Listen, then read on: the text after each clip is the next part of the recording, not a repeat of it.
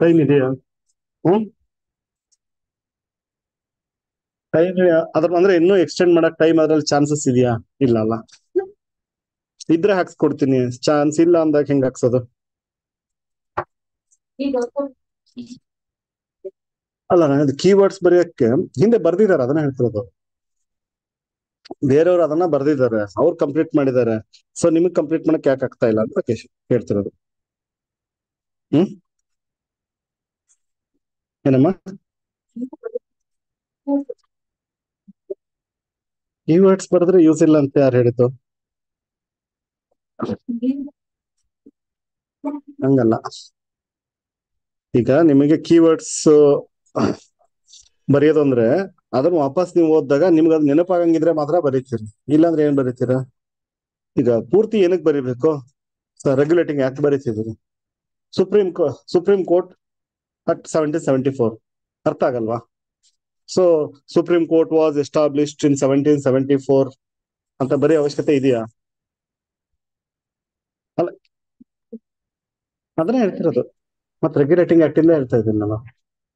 Regulating act ಅಲ್ಲೇನೆ first first time short form ಅಲ್ಲಿ first time ಏನೋ control of British okay so so ಅದನ್ನೇ ಹೇಳಿದ್ ನಾನು. Supreme court at seventeen seventy four G G B became G G B ಅರ್ಥ ಆಗಲ್ವಾ ಇದು? ಈ ತರ ಬರಿಬೇಕು.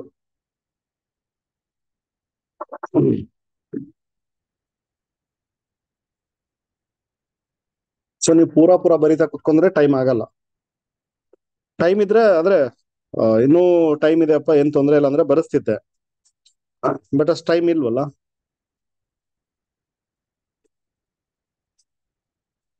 ನೀವು ಫುಲ್ ಫುಲ್ ಬರಿತಾ ಇದ್ದೀರಾ? ಅಂದ್ರೆ ಪೂರ್ತಿ ಸೆಂಟೆನ್ಸ್ ಫಾರ್ಮ್ ಇಂದ? ಸೊ ಅದನ್ನ ನಾನು ಪ್ರತಿ ಸರಿ ಎಲ್ಲರಿಗೂ ಹೇಳ್ತೀನಿ ಶಾರ್ಟ್ ಫಾರ್ಮ್ ಅಲ್ಲಿ ಬರೀರಿ ಶಾರ್ಟ್ ಫಾರ್ಮ್ ಅಲ್ಲಿ ಬರೀರಿ. ಗೋಲ್ ಏನು ಅರ್ಥ ಮಾಡ್ಕೊಳ್ಳಿ. ಗೋಲ್ ಏನು? ಆ ಟಾಪಿಕ್ ಅಲ್ಲಿರೋ ಎಲ್ಲಾ ಪಾಯಿಂಟ್ಸ್ ನನಗೆ ಗೊತ್ತಿದೆಯಾ ಅಂತ. ಹ್ಮ್. ಸೊ ಯಾಕೆ ಮತ್ತು ಫುಲ್ ಬರೆದು ಟೈಮ್ ಸಾಕಾಗ್ತಿಲ್ಲ ಅಂತೀರಿ?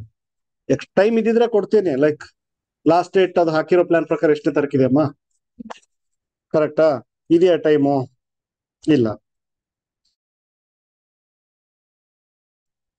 ಮತ್ತೆ ಮತ್ತೆ ಬರ್ದಿದಾರಲ್ಲ ನಾನು. ಇದು ಇವತ್ತು ಬರ್ಸ್ತಾರದಲ್ಲ ಸಿಕ್ಸ್ ಇಯರ್ಸ್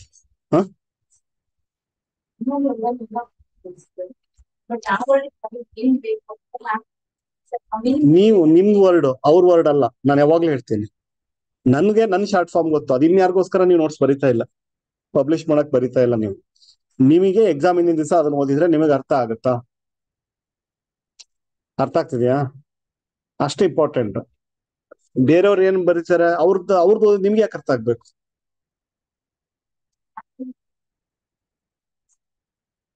ಆಗತ್ತೆ ಅಂತ ನಾನು ಹೇಳ್ತಾ ಇದ್ದೀನಿ. ಹಂಗಾರೆ ಅಥವಾ ನಿಮ್ಗೆ ನಾ ಇನ್ನು ಹೆಂಗೆ ಹೇಳ್ಕೊಡ್ಲಿ? ಹಿಂಗ್ ಬರ್ದ್ರ ಆಗಲ್ವಾ? G B became G B ಅರ್ಥ ಆಗಲ್ವಾ? ಆಗತ್ತೆ ತಾನೆ.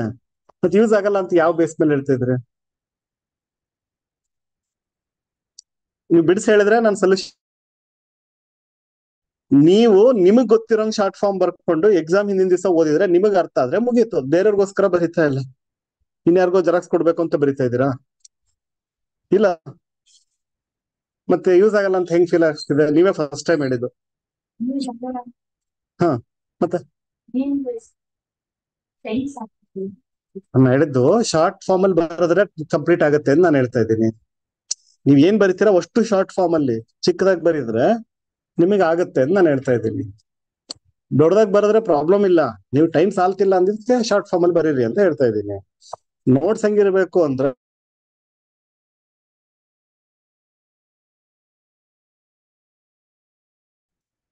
ಬಿಡ್ರಿ ಅಂತ ಯಾವುದು ಹೇಳ್ತಾ ಇಲ್ಲ ಆದ್ರೆ ಎಲ್ಲದನ್ನು ಶಾರ್ಟ್ ಶಾರ್ಟ್ ಶಾರ್ಟ್ ಅಲ್ಲಿ ಬರ್ಕಂತ ಹೋದ್ರೆ ಮಾತ್ರ ಕಂಪ್ಲೀಟ್ ಆಗುತ್ತೆ ಅಸೈನ್ಮೆಂಟ್ ಎಕ್ಸ್ಟೆಂಡೆಡ್ ಟೈಮ್ ಇದ್ರೆ ನಾನೇ ಹಾಕ್ಸ್ತಿದ್ದೆ. ಇನ್ನು ಎರಡು ದಿವಸ ಎಕ್ಸ್ಟ್ರಾ ಹಾಕಿ ಅವ್ರಿಗೆ ಕಂಪ್ಲೀಟ್ ಮಾಡಕ್ ಅವಕಾಶ ಕೊಡಿ ಅಂತ ಟೈಮ್ ಇಲ್ಲ ಅಲ್ಲಿ. ಕ್ಲಾರಿಟಿ ಸಿಕ್ತಾ? ನಮ್ ಗೋಲ್ ಏನು? ಪ್ರಿಲಿಮ್ಸ್ ಅಲ್ಲಿ ಪಾಯಿಂಟ್ ಅಷ್ಟು ಆನ್ಸರ್ ಮಾಡ್ಬೇಕು. ಆ ಪ್ರಿಲಿಮ್ಸ್ ಅಲ್ಲಿ ಅಷ್ಟು ಆನ್ಸರ್ ಮಾಡ್ಬೇಕು ಅಂತಂದ್ರೆ ಅಷ್ಟಕ್ಕಷ್ಟು ಪಾಯಿಂಟ್ಸ್ ನಮಗೆ ನೆನಪಿದೆಯಾ ಅನ್ನೋದು ಗೊತ್ತಾಗ್ಬೇಕು. ಪರ್ಪಸ್ ಆಫ್ ಅಸೈನ್ಮೆಂಟ್ ಏನು?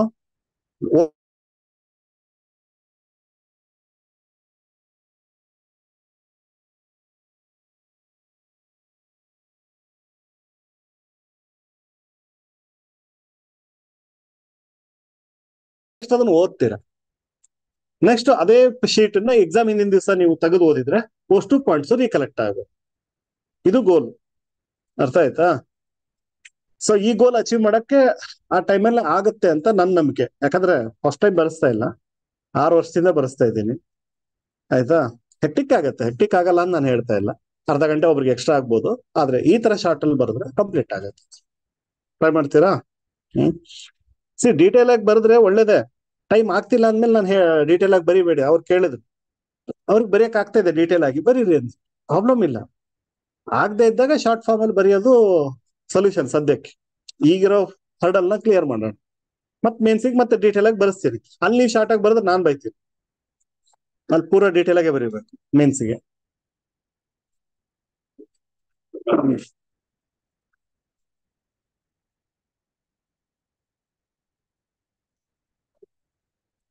ಎಲ್ರು ಅಸೈನ್ಮೆಂಟ್ ಸಬ್ಮಿಟ್ ಮಾಡ್ತಾ ಇಲ್ಲ.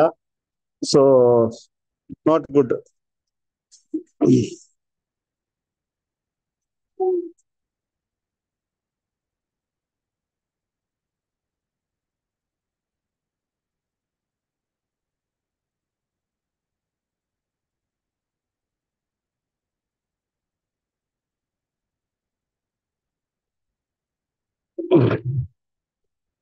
So yesterday's newspaper, a law around the low carbon climate resilient development.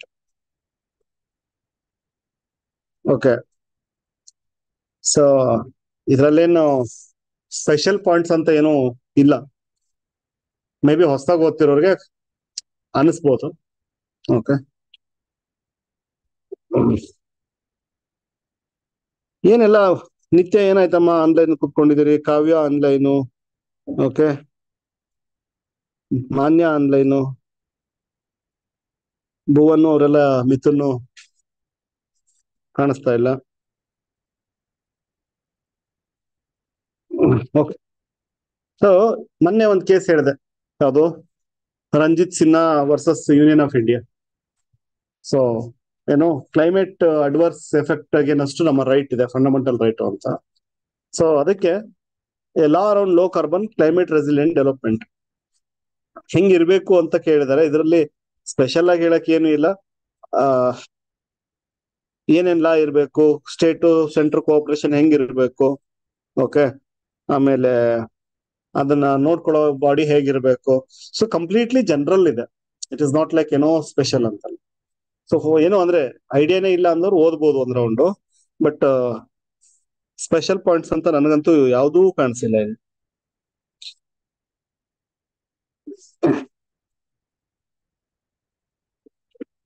Okay.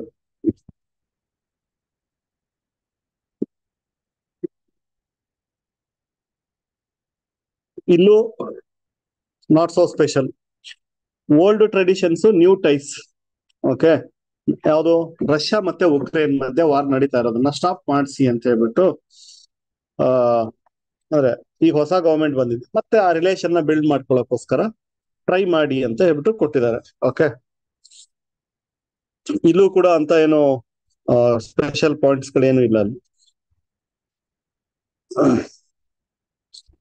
ಇಲ್ಲಿ ಐ ಥಿಂಕ್ ಇದು ಒಂದು example winds of change example ಯಾವ್ದಿದು the rest of the world must do more to engage with reformist in Iran okay ಏನಾಯ್ತು ಅಂದ್ರೆ ಎಲ್ಲಾ ಕಂಟ್ರಿಗಳಲ್ಲೂ common ಇದು ಮಾಡಲ್ ಏನು liberal ಇದ್ರೆ ಒಬ್ರು ಕನ್ಸರ್ವೇಟಿವ್ ಇರ್ತಾರೆ. ಅಂದ್ರೆ ಎಲ್ಲಾ ಕಡೆಗೂ ಅಷ್ಟೇ. ಈಗ ಇಂಡಿಯಾದಲ್ಲೂ ಅಷ್ಟೇ. ಸೊ ಲಿಬರಲ್ ಗ್ರೂಪ್ ಒಂದಿತ್ತು ಪಾರ್ಟಿ ಒಂದಿತ್ತು ಅಂದ್ರೆ ಕನ್ಸರ್ವೇಟಿವ್ ಗ್ರೂಪ್ ಒಂದಿರುತ್ತೆ. ಸೊ ವಿಂಡ್ಸ್ ಆಫ್ ಚೇಂಜ್ ಅಂದ್ರೆ ಇರಾನ್ ಅಲ್ಲಿ ಏನಾಗಿದೆ?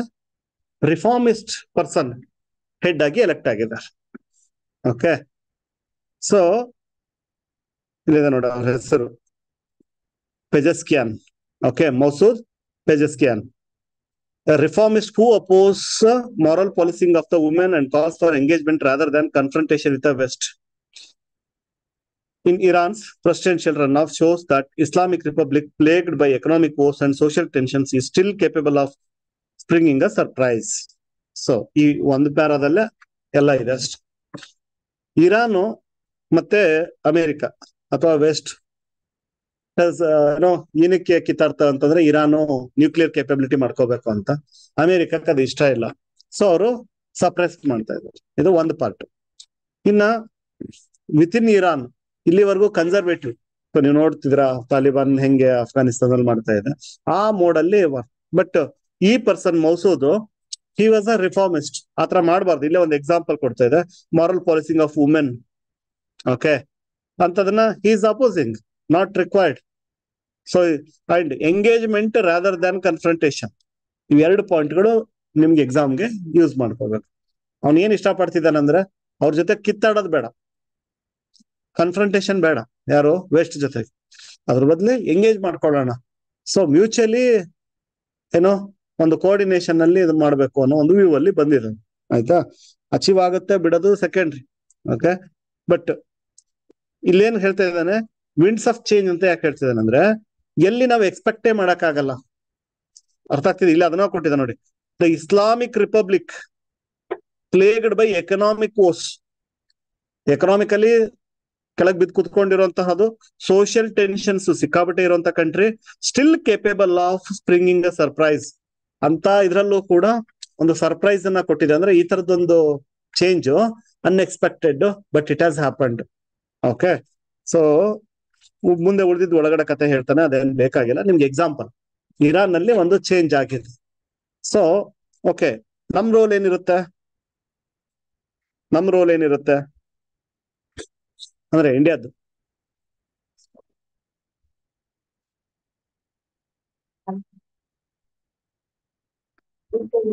ಒಂದು, ನಮ್ದು ಇರಾನ್ ಜೊತೆಗೆ ಏನು ಪ್ರಾಬ್ಲಮ್ ಏನಿಲ್ಲ ನಾವು ಜಸ್ಟ್ ಬಿಕಾಸ್ ಅಮೆರಿಕ ಸ್ಟ್ರೆಸ್ ಮಾಡುತ್ತೆ ಪ್ರೆಷರ್ ಆಗುತ್ತೆ ಅನ್ನೋ ಕಾರಣಕ್ಕೆ ಇರಾನ್ ಜೊತೆಗೆ ನಮ್ಗೆ ಅಂದ್ರೆ ಆಯಿಲ್ ತಗೊಳ್ಳೋದು ಅದನ್ನ ಸ್ಟಾಪ್ ಮಾಡೋದು ಈ ತರ ಎಲ್ಲ ಮಾಡ್ತೀವಿ.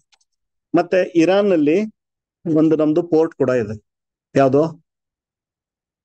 ಹ್ಮ್? ಚಾಬರ್ ಪೋರ್ಟ್ ಇರಾನ್ ಅಲ್ಲಿ ಒಂದು ಚಾಬರ್ ಪೋರ್ಟ್ ಇದೆ. ಸೊ ಏನಕ್ಕಿದೆ ಚಾಬರ್ ಪೋರ್ಟ್ ಅಲ್ಲಿ ಯಾಕೆ ಮಾಡ್ಕೊಂಡಿದೀವಿ ಅಷ್ಟು ದೂರ ಅಂತ? ಇಲ್ಲಿ ಪಕ್ಕದಲ್ಲೇ ಪಾಕಿಸ್ತಾನ ಇದೆ. ಆಯ್ತಾ? ನಾವು ನಾರ್ತ್, ಇದಕ್ಕೆ ಸೆಂಟ್ರಲ್ ಏಷ್ಯಾಗ ಹೋಗ್ಬೇಕು ಅಂದ್ರೆ, ರಷ್ಯಾ ಕಡೆಗೆಲ್ಲ ಹೋಗ್ಬೇಕು, ಆಯಿಲ್ ತರಬೇಕು, ಕಜಕ್ಸ್ತಾನ್ಗೆ ಹೋಗ್ಬೇಕು, ಯುರೇನಿಯಂ ತರಬೇಕು, ಈ ತರ ಎಲ್ಲ ಮಾಡ್ಬೇಕು ಅಂತಂದ್ರೆ ನಮ್ಗೆ ಐದರ್ ಪಾಕಿಸ್ತಾನ ಅಥವಾ ಚೈನಾ, ಬಟ್ ಇಬ್ರು ತುಂಬಾ ಕ್ಲೋಸ್ ಫ್ರೆಂಡ್ಸ್. ಸೊ, ಟ್ರಸ್ಟ್ ಮಾಡಕ್ಕಾಗಲ್ಲ. ರೂಟ್ ಕಟ್ ಮಾಡ್ಬೋದು ಯಾವಾಗ ಬೇಕಾದ್ರು, ಡ್ಯಾಮೇಜ್ ಮಾಡ್ಬೋದು, ಅದಕ್ಕೆ ಏನ್ ಮಾಡ್ಕೊಂಡ್ವಿ ನಾವು? ಸ್ವಲ್ಪ ಸುತ್ತಾದ್ರೂ ಪರವಾಗಿಲ್ಲ. ಇಂಡಿಯಾ ಇಲ್ಲಿದೆ, ಕರೆಕ್ಟಾ? ಪಾಕಿಸ್ತಾನ, ಇರಾನ್, ಇಲ್ಲಿ ಚೈನಾ, ಇದು ಸೆಂಟ್ರಲ್ ಏಷ್ಯಾ ಸೊ ಇಲ್ಲಿಂದ ನಾವು ಸೆಂಟ್ರಲ್ ಏಷ್ಯಾಗೆ ಲ್ಯಾಂಡ್ ರೂಟ್ ನಮಗೆ option air route costly land route ಬೇಕು. ಸೊ ಇರಾನ್ ಥ್ರೂ ನಾವು ಹೋಗ್ತಿದೀವಿ. ಹಂಗಾಗಿ ಇಲ್ಲಿ ಚಾಬರ್ ಪೋರ್ಟ್ನ ನಾವು ರೆಡಿ ಮಾಡ್ಕೊಂಡಿದೀವಿ. ಪಾಕಿಸ್ತಾನದಲ್ಲಿರೋ ಪೋರ್ಟ್ ಯಾವುದು? Gwadar port Gwadar port okay so ನಮಗೆ ಇರಾನ್ಗೂ ಏನು ಪ್ರಾಬ್ಲಮ್ ಇಲ್ಲ ಆಕ್ಚುಲಿ ಆಯ್ತಾ? Only because of West America ಹೇಳುತ್ತೆ ಅನ್ನೋ ಕಾರಣಕ್ಕೆ ನಾವು ಕಟ್ ಮಾಡ್ಕೊಳ್ತೀವಿ ಕೆಲವೊಂದ್ಸರಿ. ಯಾಕಂದ್ರೆ ನಮಗ ಅವರಿಂದ ಆಗ್ಬೇಕಾದ್ರೆ ಜಾಸ್ತಿ ಇರೋದ್ರಿಂದ. ಸೊ ಇಂಟರ್ವ್ಯೂನ ಆಗ್ಬೋದು. ಈ ತರ ಒಬ್ಬ ರಿಫಾರ್ಮಿಸ್ಟ್ ಇದ್ದಾಗ ಇಂಡಿಯಾ ಇಂಟ್ರೆಸ್ಟ್ ಇದ್ದಾಗ. ಹೋಗಿ ತಾಲಿಬಾನ್ನಲ್ಲಿ ನಮ್ಮ ಪರವಾಗಿ ಮಾತಾಡಕ್ ಇದಾರೆ ಅಂತ ಹೇಳ್ತಿಲ್ಲ ನಾನು. ಇಲ್ಲಿ ಒಬ್ಬ reformist ಇದ್ದಾನಂದ್ರೆ we need to support so ಅದನ್ನ ಎಂಗೇಜ್ಮೆಂಟ್ ಇನ್ನೂ ಸ್ಟ್ರಾಂಗ್ ಆಗಂಗೆ ನಾವು ಮಾಡ್ಬೋದು. ಇಷ್ಟು ಒಪಿನಿಯನ್ ನಾವು ಬರೀಬಹುದು ಆನ್ಸರ್ ಸರ್ ಉಳಿದಿದ್ದೆಲ್ಲ ಅವ್ರು ಇಂಟರ್ನಲ್ ಕೊಟ್ಟಿದ್ದಾನೆ, ಅವ್ರ ಎಲೆಕ್ಷನ್ ಹೆಂಗ್ ಆಯ್ತು, ಯಾರು ಅವರು ಕನ್ಸರ್ವೇಟಿವ್ಸ್ ಹೆಂಗೆ ಡಿಫಿಟ್ ಆದ್ರು ಅಪೋಸಿಷನ್ ಹೆಂಗ್ ಬಂತು, ಅವೆಲ್ಲ ಪೊಲಿಟಿಕ್ಸ್ ಬೇಡ. ಬಟ್ ಒಂದು ಎಕ್ಸಾಂಪಲ್ ಅಂತ ಹೌದು. Next N R F plan has got off on the wrong foot ಇದು ಇಂಪಾರ್ಟೆಂಟ್ ಆದ್ರೆ ಪಾಯಿಂಟ್ಸ್ ಏನ್ ಒಳಗಡೆಗೆ ತುಂಬಾ ಏನೋ ಸಾಲಿಡ್ ಹೆವಿ ಪಾಯಿಂಟ್ಸ್ ಇದಾವೆ ಅಂತಿಲ್ಲ. ಒಂದ್ ಫ್ಯೂ ಪಾಯಿಂಟ್ಸ್ ಇಂಪಾರ್ಟೆಂಟ್ ಇದೆ. ಸೊ ನಮ್ಮಲ್ಲಿ ರಿಸರ್ಚ್ ಅನ್ನ ಡೆವಲಪ್ ಮಾಡ್ಬೇಕು. ನಿಮ್ಗೆ ಟಾಪ್ ಹಂಡ್ರೆಡ್ ಯೂನಿವರ್ಸಿಟೀಸ್ ಅಲ್ಲಿ ವರ್ಲ್ಡ್ ಅಲ್ಲಿ ಈ ಸತಿ ಚೇಂಜ್ ಇದೆ ಹೇಳಿ. ಐ ಥಿಂಕ್ ಒಂದೇ ಒಂದು ಐ ಎ ಸಿ ಇತ್ತು. ಗೊತ್ತಾಯ್ತಲ್ವಾ? ಅಂದ್ರೆ ಇಷ್ಟು ದೊಡ್ಡ ಕಂಟ್ರಿ ಇಷ್ಟು ಪಾಪ್ಯುಲೇಷನ್ ಇಟ್ಕೊಂಡು ನಮ್ದು ಹೇಳ್ಕೊಳಕ್ಕೆ ಒಂದ್ ಇನ್ಸ್ಟಿಟ್ಯೂಟ್ ಟಾಪ್ ಇನ್ಸ್ಟಿಟ್ಯೂಟ್ಗಳಲ್ಲಿ ನಮ್ದಿಲ್ಲ. ಓಕೆ ಅಂದ್ರೆ ಜಾಸ್ತಿ ಇಲ್ಲ. ಒಂದೇ ಒಂದು ಇನ್ಸ್ಟಿಟ್ಯೂಟ್ ಹೇಳ್ಕೊಳ್ತಾ ಇದೀವಿ. ಅದು ಚೇಂಜ್ ಆಯ್ತು. ಮನೆ ಅವತ್ತು ಹೋಮ್ವರ್ಕ್ ಮಾಡಿದ್ರೆ ನೀವು ಹೇಳಿದ್ರಿ ಕರೆಂಟ್ ಅಫೇರ್ಸ್ ಅಲ್ಲಿ. ಅದು ಇಲ್ಲ. ಒನ್ ತರ್ಟಿ ಎತ್ತೋ ಎಷ್ಟೋ ಇದ್ರಲ್ಲಿದೆ ಅಂತ. ಸೊ ದಟ್ ಈಸ್ ಅದಕ್ಕೋಸ್ಕರ ಗವರ್ಮೆಂಟ್ ಏನು ಅಂದ್ರೆ A N R F Anusandhan national research foundation ಅಂತ ಹೇಳ್ಬಿಟ್ಟು ಟೂ ತೌಸಂಡ್ ಟ್ವೆಂಟಿ ತ್ರೀ ನಲ್ಲಿ ಪಾಸ್ ಮಾಡಿದ್ವಿ good move national research foundation okay so ಏನು ಗೋಲ್ ಏನಪ್ಪಾ ಅಂತಂದ್ರೆ start of initiative to seed grow facilitate research in India especially in India universities and colleges ನಮ್ಮೆಲ್ಲಾ ಕಾಲೇಜ್ಗಳಲ್ಲಿ ಇದನ್ನ boost ಮಾಡಬೇಕು ಅಂತ. ಬಟ್ ಹೆಡ್ಡಿಂಗ್ ಹೇಳ್ತಾ ಇದ್ದಾನೆ has got off on the wrong foot ಅಂತ ಹೇಳ್ತಿದ್ದಾನೆ. ಅಂದ್ರೆ, ಅನ್ಕೊಂಡಿದ್ದ ಪರ್ಪಸ್ ಅನ್ನ ಅದು ಸರ್ವ್ ಮಾಡ್ತಾ ಇಲ್ಲ. ಓಕೆ ಸೊ ಗೋಲ್ ಏನಂದ್ರೆ ಅದನ್ನ ಸರ್ವ್ ಮಾಡಂಗ್ ಮಾಡ್ಬೇಕು ಅಷ್ಟೇ. See two thousand nineteen national research foundation project report explicitly mention growing outstanding research cells already existing at the state universities is one of the N R F priority so already ಈ research ಫೌಂಡೇಶನ್ಸ್ಗಳು ಏನಿದೆ, ಆಯ್ತಾ? ಅದನ್ನ first boost ಮಾಡ್ಬೇಕು.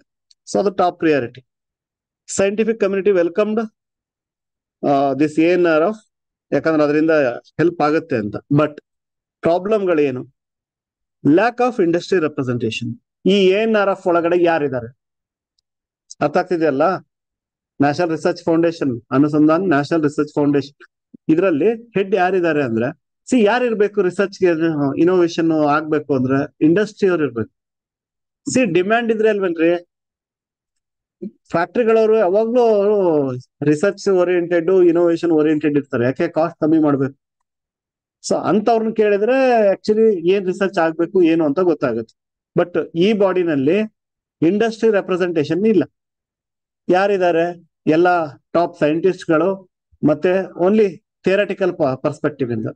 ಅದನ್ನ ಹೇಳ್ತಿರೋದು fifteen member governing board ಆಯ್ತಾ? Sixteen member executive council ಮಾಡಿದ್ದಾರೆ ಇದಕ್ಕೆ. ಆದ್ರೆ ಅದರೊಳಗಡೆಗೆ ಏನು ಯಾರಿಗೋಸ್ಕರ ಮಾಡ್ತಾ ಇದಾರಲ್ಲ ಅವರೇ ಇಲ್ಲ. ಇಂಡಸ್ಟ್ರಿಗಳು ಮಿಸ್ಸಿಂಗ್ ಇದೆ. ಅವ್ರಿಗೆ ಹೇಳ್ತಾರೆ ಪ್ರಾಬ್ಲಮ್ಸ್ ಗಳನ್ನ ಇಂಥ ಪ್ರಾಬ್ಲಮ್ ಇದೆ, ಇಂಡಸ್ಟ್ರಿಗಳು ಇಂಥ ಪ್ರಾಬ್ಲಮ್ ಫೇಸ್ ಮಾಡ್ತಾ ಇದಾವೆ ಇಂಥ ಅದ್ರ ಮೇಲೆ ರಿಸರ್ಚ್ ಆಗ್ಬೇಕು ಅಂತ ಅವ್ರು ಹೇಳ್ತಾರೆ.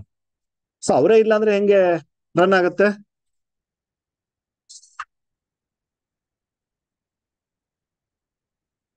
Okay ANRF aims to strengthen the research infrastructure of universities, even acknowledging that more than 95% of the students attend state universities and colleges in India. So, ಇದು data ನಿಮ್ಗೆ help. ಆಗುತ್ತೆ ಅಂದ್ರೆ ಸ್ಟೇಟ್ ಯೂನಿವರ್ಸಿಟಿ ಕಾಲೇಜಸ್ಗಳಲ್ಲಿ ninety five percent student ಇದ್ರೆ top ಎಲ್ಲಾ ಕಾಲೇಜ್ಗಳು ಸೇರಿ ಒಂದು ಫೈವ್ ಪರ್ಸೆಂಟ್ ಇದ್ದಾರೆ ಓಕೆ ಸೊ ಅಂದ್ರೆ ಇನ್ಫ್ರಾಸ್ಟ್ರಕ್ಚರ್ನ ನಾವು ಇಲ್ಲಿ ಯಾಕೆ ಸ್ಟ್ರಾಂಗ್ ಮಾಡಬೇಕು ಅನ್ನೋದು ಕನ್ಸರ್ನ್ ನೀವು ಟಾಪ್ ಅಲ್ಲಿ ಇದೆ ಅಂದ್ರೆ ಎಲ್ಲರಿಗೂ ರೀಚ್ ಆಗಲ್ಲ. So ninety five percent students ಇರೋದು ಕಾಲೇಜ್ಗಳಲ್ಲಿ ಯೂನಿವರ್ಸಿಟಿಗಳಲ್ಲಿ ಸೊ ಅಲ್ಲಿ ಬೂಸ್ಟ್ ಮಾಡ್ಬೇಕು. ಸೊ ಅದನ್ನ ಹೇಳಿದ್ದು. ಆದ್ರೆ, ಈ ಬೋರ್ಡ್ ಅಲ್ಲಿ ಏನು ಹದ್ ಗವರ್ನಿಂಗ್ ಬೋರ್ಡ್ ಮತ್ತೆ ಎಕ್ಸಿಕ್ಯೂಟಿವ್ ಕೌನ್ಸಿಲ್ ಇದೆ ಅಲ್ಲ, ಆ ಬೋರ್ಡ್ ಒಳಗಡೆಗೆ ಸೆಂಟ್ರಲ್ ಆಗ್ಲಿ ಸ್ಟೇಟ್ ಯೂನಿವರ್ಸಿಟಿಗಳ ಮೆಂಬರ್ಸೇ ಇಲ್ಲ. ಅಂದ್ರೆ ಎಲ್ಲಿ ಮ್ಯಾಕ್ಸಿಮಮ್ ಸ್ಟೂಡೆಂಟ್ಸ್ ಇದ್ದಾರೆ ಅಲ್ಲಿ ರೆಪ್ರೆಸೆಂಟೇಟಿವ್ಸ್ ಇಲ್ಲ. ಸೊ ರೀಚ್ ಮಾಡ್ಸೋದು ಹೇಗೆ? ಕರೆಕ್ಟಾ ಇದು ಮೇನ್ಸ್ಗೆ ಪ್ರಿಲಿಮ್ಸ್ಗೆ ಬರೋದಲ್ಲ ಇದು.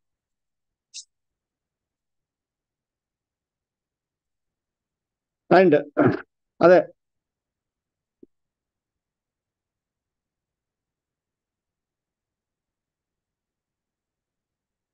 ಅಂಡ್ ಟಾಪ್ ಲೆವೆಲ್ ಅಲ್ಲಿ ಇರೋದನ್ನ ಹೇಳಿದೆ. So high powered committees top level ಅಲ್ಲಿ ಇರೋದು. ಸರಿ, ಅವ್ರು ಅಷ್ಟೇ ಇದ್ರೆ ಆಗೋದಿಲ್ಲ, ಅದನ್ನೇ ಹೇಳ್ತಿರೋದು.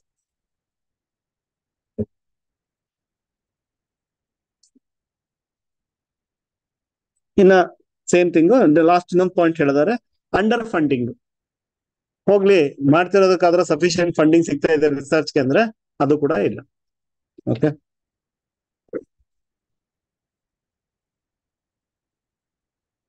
ಅಂತ ಏನು ಸ್ಟ್ರಾಂಗ್ ಟಾಪಿಕ್ಸ್ಗಳು ಇಲ್ವೇ ಇಲ್ಲ, ಮೇಲ್ಗಡೆ ನಾಲ್ಕು. Okay the problem of special packages is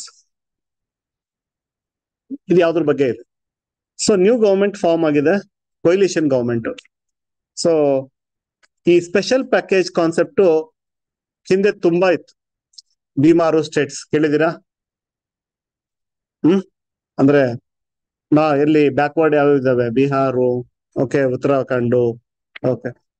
So Madhya Pradesh Uttar Pradesh Uttarakhand. So ಈ ಎಲ್ಲಾ ಸ್ಟೇಟ್ ಗಳಿಗೆ ಮುಂಚೆ ಎಲ್ಲ ಏನಂದ್ರೆ ಕಾಮನ್ ಏನು ಸ್ಪೆಷಲ್ ಪ್ಯಾಕೇಜ್ ಕೊಡೋದು.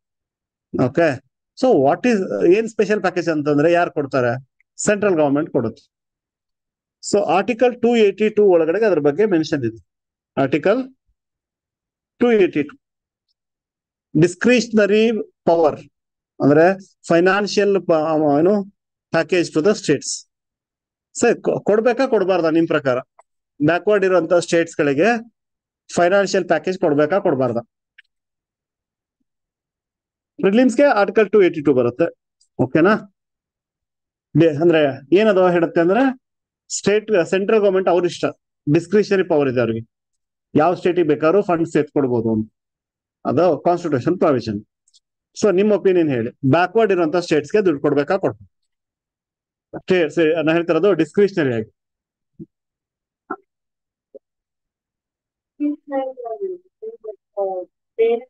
ಡಿಪಾರ್ಟ್ಮೆಂಟ್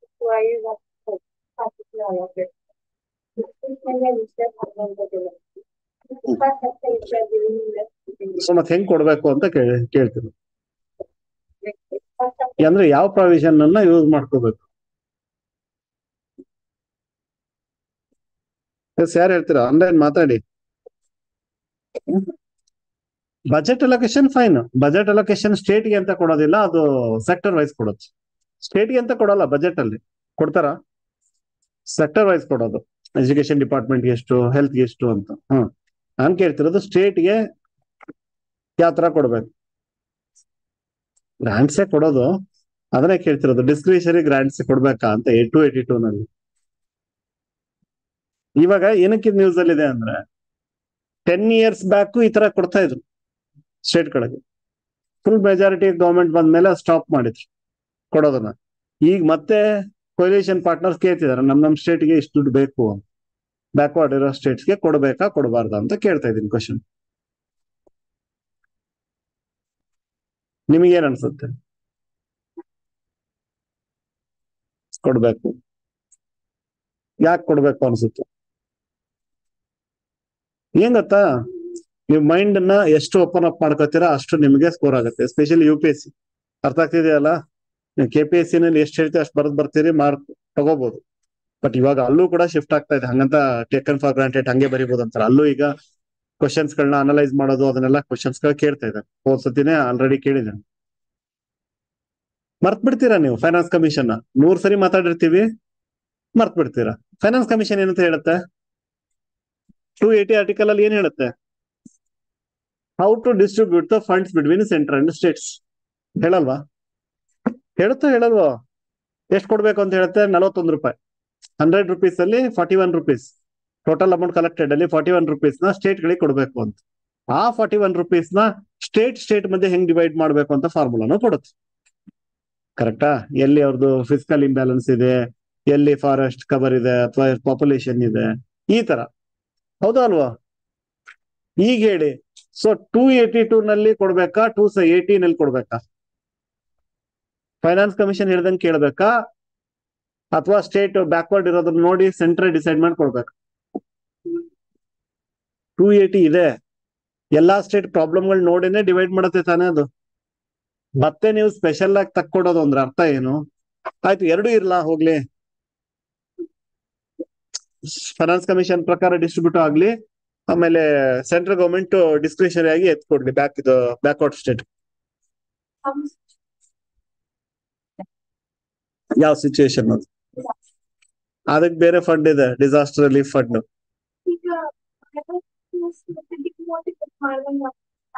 ಸೊ ಅದನ್ನೇ ಮಾತಾಡ್ತಾ ಇರೋದು ಈ ಆರ್ಟಿಕಲ್ ನೀವು ಈಗ ಆಗ್ತಿದೆ.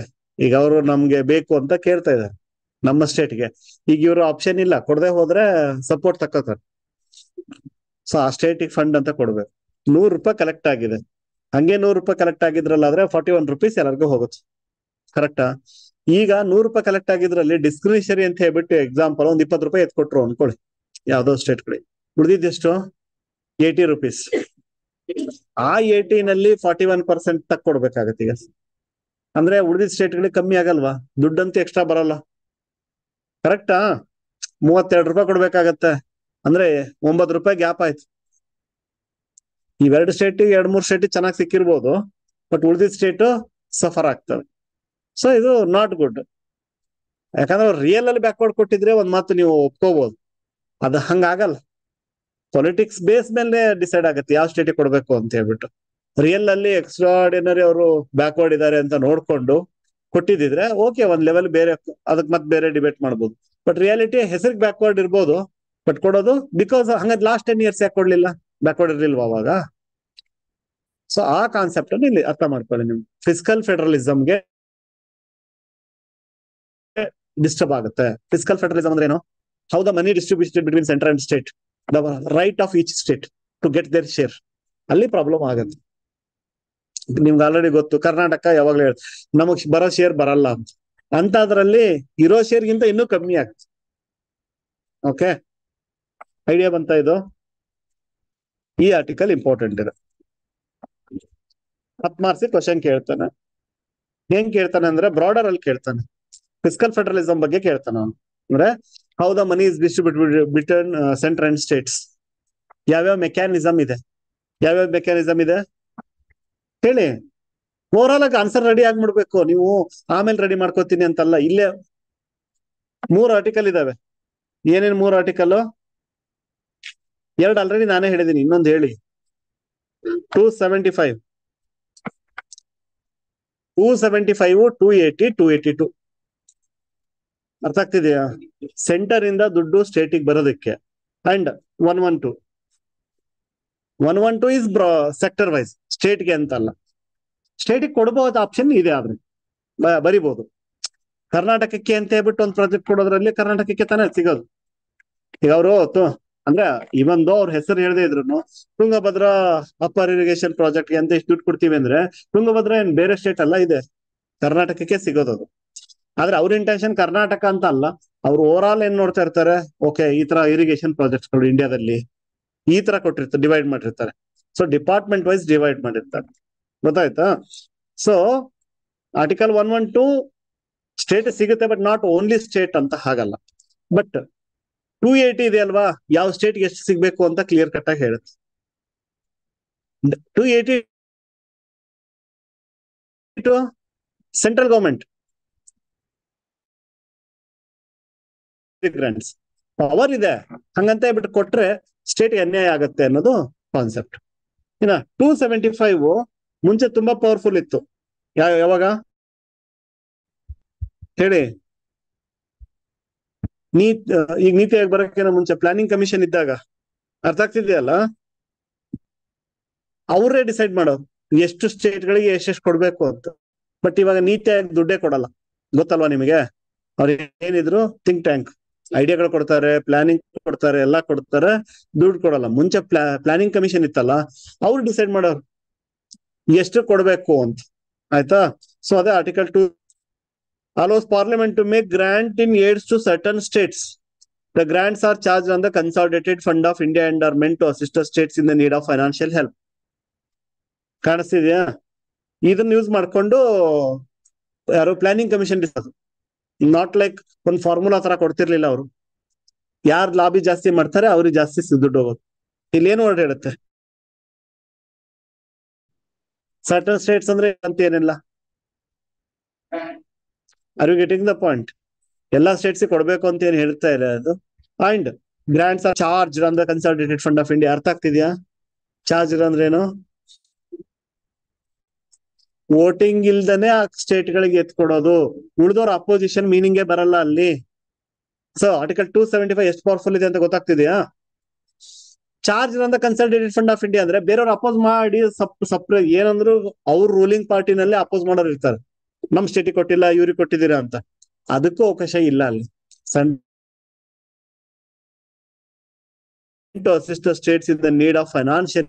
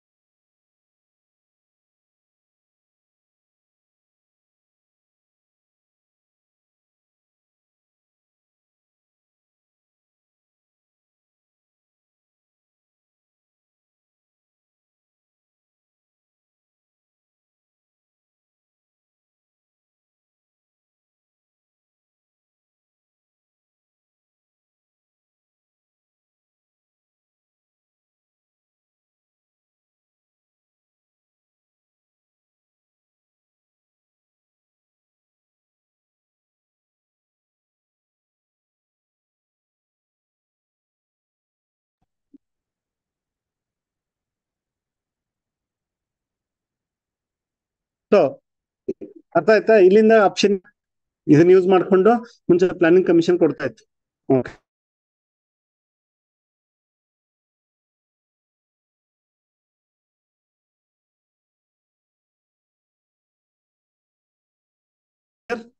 ಸೊ ಟು ಏಟಿ ಕ್ಲಾರಿಟಿ ಇದೆ. ಏನು? ಫೈನಾನ್ಸ್ ಕಮಿಷನ್ ಕ್ಲಿಯರ್ ಆಗಿ ಹೇಳುತ್ತೆ, ಏನಂತ?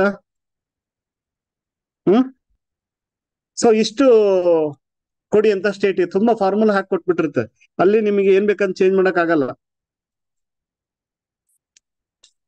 Okay so article two eighty two ಏನ್ ಹೇಳುತ್ತೆ? ಡಿಫ್ರೆನ್ಸ್ ಗಳನ್ನ ಅರ್ಥ ಮಾಡ್ಕೊಳ್ಳಿ. ಪ್ರಿಲಿಮ್ಸ್ಗೆ ನೇರವಾಗಿ ಕ್ವಶನ್ ಬರುತ್ತೆ. Two eighty two two eighty two seventy five two seventy five ಎಲ್ಲಾ ಸ್ಟೇಟ್ಗೂ ಕೊಡ್ಬೇಕು ಅಂತ ಹೇಳಲ್ಲ. ಟೂ ಏಟಿ ಎಲ್ಲಾ ಸ್ಟೇಟ್ಗೂ ಕೊಡ್ಬೇಕು ಅಂತ ಹೇಳುತ್ತೆ. ಟ್ರೂ ಫೈನಾನ್ಸ್ ಕಮಿಷನ್ ಯಾವ್ದನ್ನು ಮಿಸ್ ಮಾಡಲ್ಲ. ಯೂನಿಯನ್ ಟೆರಿಟರಿಗೂ ಹೇಳುತ್ತಾ? ಇನ್ ಫಾರ್ಟಿ ಒನ್ ರುಪೀಸ್ ಬಿಟ್ಟು ರಿಮೈನಿಂಗ್ ಇದೆ ಅಲ್ವಾ? ಫಿಫ್ಟಿ ನೈನ್ ರುಪೀಸ್ ಅದು ಯಾರಿಗೆ ಯೂಸ್ ಮಾಡೋದು? ಡಿಫೆನ್ಸ್ಗೆ ಮೇಜರ್ ಹೋಗುತ್ತೆ? ಅಷ್ಟಕ್ಕೊಂದು ಯಾಕೆ ಇಟ್ಕೊಂಡಿದಾರ ಅಂತ ನಿಮ್ಗೆ ಯಾರು ಕ್ವಶನ್ ಇಲ್ವಾ? ಬರೀ ಫಾರ್ಟಿ ಒನ್ ಸ್ಟೇಟ್ಗೆ ಫಿಫ್ಟಿ ನೈನ್ ಸೆಂಟ್ರಿಗೆ ಅಂದ್ರೆ ಡಿಫೆನ್ಸ್ ಖರ್ಚು ಹೆವಿ ಇರುತ್ತೆ. ಹೋಲ್ ಇಂಡಿಯಾದೇ ನೋಡ್ಕೋಬೇಕು ತಾನೆ? ಸ್ಟೇಟ್ ವೈಸ್ ಡಿವೈಡ್ ಮಾಡಿ ನೀವು ನೋಡ್ಕೊಳ್ಳಿ ಅನ್ನಕ್ಕಿಲ್ಲ ಅಲ್ಲಿ. ಅದನ್ನ ಬಿಟ್ಟು ಎಲ್ಲ ಸೆಂಟ್ರಲ್ ಗವರ್ಮೆಂಟ್ ಸ್ಕೀಮ್ಸ್ ಅದ್ರ ಶೇರ್ ಕೊಡ್ಬೇಕಲ್ವಾ? ಸೊ ಅದ್ರ ಕಡೆಗೆ ಯೂಸ್ ಆಗತ್ತೆ. ಸೊ ಟೂ ನಲ್ಲಿ ಫಿಕ್ಸ್ ಫಾರ್ಮುಲಾ ನಾವೇನ್ ಫಾರ್ಮುಲಾ ಹಾಕಿದೀವಿ ಆ ತರ ಸ್ಟೇಟ್ ಡಿಸ್ಟ್ರಿಬ್ಯೂಟ್ ಆಗುತ್ತೆ. ಬಟ್ ಎಲ್ಲಾ ಸ್ಟೇಟ್ಸ್ ಯೂನಿಯನ್ ಟೆರಿಟರಿಗೆ ಅನ್ನಕ್ಕೆ ಯೂನಿಯನ್ ಟೆರಿಟರಿಗೆ ಉಳಿದಿರೋ ದುಡ್ಡಲ್ಲೇ ಆಗ್ತದೆ ಯಾಕಂದ್ರೆ ಅದು ಡೈರೆಕ್ಟ್ ಆಗಿ ಪ್ರೆಸಿಡೆಂಟ್ ಅಂಡ್ರಲ್ಲಿ ಬರುತ್ತೆ. ಸೊ ಅದೇ ದುಡ್ಡಲ್ಲಿ ಫಿಫ್ಟಿ ನೈನ್ ರುಪೀಸ್ ಅಲ್ಲಿ. ಇನ್ನ third two eighty two discretionary ಅಂತ ಹೇಳ್ತೀವಿ confers exclusive powers on union government and state governments to make grants for any purpose of public use full open end. Same central ಇದೆ state ಗೌರ್ಮೆಂಟ್ಗಳು ಹಂಗೆ ಮಾಡಬಹುದು ಅರ್ಥ ಆಗ್ತಿದೆಯಲ್ಲ ಏನಂತ ಹೇಳ್ತಿದ್ರೆ ಯೂನಿಯನ್ ಗವರ್ಮೆಂಟ್ ಮತ್ತು ಸ್ಟೇಟ್ ಗವರ್ಮೆಂಟ್ಗೆ ಎಕ್ಸ್ಕ್ಲೂಸಿವ್ ಪವರ್ ಎನಿ ಪಬ್ಲಿಕ್ ಯೂಸ್ಗೆ ಅಂದ್ರೆ ಡಿಸ್ಕ್ರಿಷನ್ ಕಾಣಿಸ್ತಾ ಇದೆಯಲ್ಲ? ಅದು ಎನಿ ಅನ್ನೋದೇ ಅವ್ರಿಗೆ, ಈಗ ಇಂಥದಕ್ಕೆ ಕೊಡಿ ಇಂಥದಕ್ಕೆ ಕೊಡಿ ಏನು ಹೇಳ್ತಾ ಇಲ್ಲ. ಎನಿ ಅಂತ ಹೇಳ್ತಾ ಇದ್ದಾರೆ. This is regardless of whether or not the purpose falls within their legislative powers okay or state may make any grants for any public purpose notwithstanding that the purpose is not one with respect to which parliament or the legislature as a case may be make laws ಅಂದ್ರೆ irrespective of their jurisdiction amount ಕೊಡೋಕೆ ಅವಕಾಶ ಇದೆ ಅಂತ. ನಾನು ಕರ್ನಾಟಕದವ್ರು ಕರ್ನಾಟಕಕ್ಕೆ ಕೊಡ್ತೀನಿ ಅಂತನೂ ಅಲ್ಲ. ನಾನ್ ತಮಿಳ್ನಾಡಿಗೂ ಎತ್ತಿ ಎತ್ತು ಕೊಡ್ತೀನಿ. ಅರ್ಥ ಆಗ್ತಿದ್ಯಾ? ಅಂದ್ರೆ ಅಷ್ಟು ಡಿಸ್ಕ್ರಿಷನರಿ ಪವರ್ ಕೊಟ್ಟಿದ್ದಾರೆ. ಹಂಗೆ ಎತ್ತೀಗ ಬಿಹಾರಿ ಕೊಡ್ತಿರೋ, ತಮಿಳ್ನಾಡು ಕೊಡ್ತಿರೋ, ಯಾರಿಗೆ ಕೊಡ್ತಿರೋ ನೀವು ಆರಾಮಾಗಿ ಕೊಡ್ಬೋದು. ಡಿಫ್ರೆನ್ಸ್ ಅರ್ಥ ಮಾಡ್ಕೊಳ್ಳಿ ಅಂತ. ಯಾಕಂದ್ರೆ two seventy five two eighty two confusion two eighty clear ಇದೆ. ಇದು ಓಪನ್ ಎಂಡ್ ಅಲ್ಲಿ ಕೊಡುತ್ತೆ. ಅದು ಕ್ಲಿಯರ್ ಕಟ್ಟ ಕೊಡುತ್ತೆ ಏನಂತ? ಯಾರಿಗೆ ನೀಡಿದೆ ಅವ್ರಿಗೆ ಕೊಡು ಅಂತ ಹೇಳ್ತೀವಿ ಟೂ ಸೆವೆಂಟಿ ಫೈವ್ ಅರ್ಥ ಆಗ್ತಿದೆಯಾ ಇಲ್ಲಿದೆ ನೋಡಿ meant to assist the states in need of financial help ಅಂತ ಅಟ್ ಲೀಸ್ಟ್ ಅಲ್ಲಿ ಒಂದು ರೀಸನ್ ಆದ್ರೂ ಇದೆ. ಫೈನಾನ್ಷಿಯಲ್ ಹೆಲ್ಪ್ ನೀಡಿದೆ ಬ್ಯಾಕ್ವರ್ಡ್ ಇದೆ ಅಂತಂದ್ರೆ ಟೂ ಸೆವೆಂಟಿ ಫೈವ್ನಲ್ಲಿ ಕೊಡಿ ಅಂತ. ಬಟ್ ಎರಡು ಇಂಟರ್ಪ್ರಿಟೇಷನ್ ಅಲ್ಲಿ ಹೆಂಗ್ ಬೇಕಾದ್ರೂ ಮಾಡ್ಕೋತಾರೆ. ಹೌದು ನೀಡ್ ಇದೆ ಅಂತ ಅವ್ರು ಹೇಳಿದ್ರೆ ಏನ್ ಹೇಳಕ್ಕಾಗತ್ತೆ? ಕರೆಕ್ಟಾ ಸೊ ಕ್ಲಾರಿಟಿ ಸಿಕ್ತಾ? ಸೊ ಟೂ ಸೆವೆಂಟಿ ಫೈವ್ ಬರೀರಿ two eighty two eighty two two one one ಟೂನು ಬರೀರಿ ಬಜೆಟ್ ಬಜೆಟ್ ಅಲ್ಲೂ ಸಿಗುತ್ತೆ ಸ್ಟೇಟ್ ಗಳಿಗೆ. ಬಟ್ ಸ್ಟೇಟ್ ಕೊಡ್ಬೇಕು ಅಂತ ಕೊಡಲ್ಲ ಬಜೆಟ್ ಅಲ್ಲಿ. ಓವರ್ ಆಲ್ ಇಂಡಿಯಾಗೆ ಅಂತ ಡಿವೈಡ್ ಮಾಡ್ಕೊಂಡಾಗ ಸ್ಟೇಟ್ಗಳು ತನ್ನ ಶೇರ್ ಸಿಕ್ಕಿರುತ್ತೆ. ಸೊ ಒಂದು ಹತ್ತು ಮಾರ್ಕ್ಸ್ಗೆ ನಾಲ್ಕು ಆರ್ಟಿಕಲ್ ಇಟ್ಕೊಂಡು ಬರೆದ್ರೆ ಒಂದೊಂದಕ್ಕೆ ಎರಡು ಎರಡು ಮಾರ್ಕ್ಸ್ ಅಂದ್ರೆ ಎಂಟು ಮಾರ್ಕ್ಸ್ ಆಯ್ತು. Got it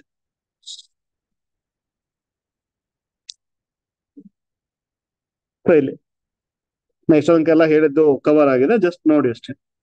So demand for state specific discretionary grants they talking about two eighty two state specific or special package ಅಂತ ಕರೀತಾರೆ.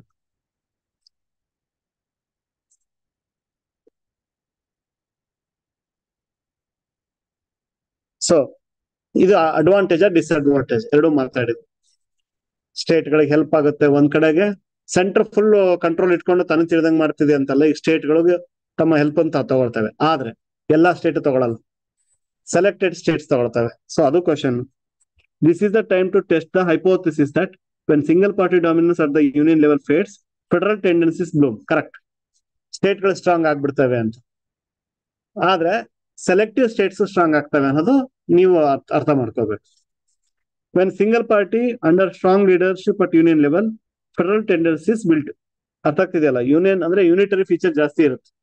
ಸೆಂಟ್ ಹೇಳ್ದಂಗೆ ಎಲ್ಲ ನಡ್ಕೊಂಡು ಹೋಗ್ಬೇಕು. ಯಾವಾಗ? ಒಂದೇ ಪಾರ್ಟಿ ಮೆಜಾರಿಟಿ ಇದ್ರು. ಯಾವಾಗ ಈ ತರ ಕೊಯಿಲೇಷನ್ ಆಗುತ್ತೆ? ಇದು ನೋಡಿ ಫೆಡರಲ್ ಟೆಂಡೆನ್ಸಿಸ್ ಇಲ್ಲಿ ಒಂದೇ ಇದ್ದಾಗ ವಿಲ್ಟ್ ಆಗುತ್ತೆ. ಇವಾಗ ಅದೇ ಬೂಮ್ ಆಗುತ್ತಾ? ಕ್ವಶನ್ ಮಾರ್ಕ್ ಇಟ್ಕೊಂಡಿದ್ದಾರೆ. ನೋಡ್ಬೇಕೀಗ ಅಂತ. ಇದೆ ನೋಡಿ ಇನ್ನ ಹೆಲ್ತಿ ಫೆಡರಲ್ ಸ್ಟ್ರಕ್ಚರ್ ಅಂದ್ರೆ ಎಲ್ಲಾ ಸ್ಟೇಟ್ ಚೆನ್ನಾಗಿ ವ್ಯಕ್ತಿ.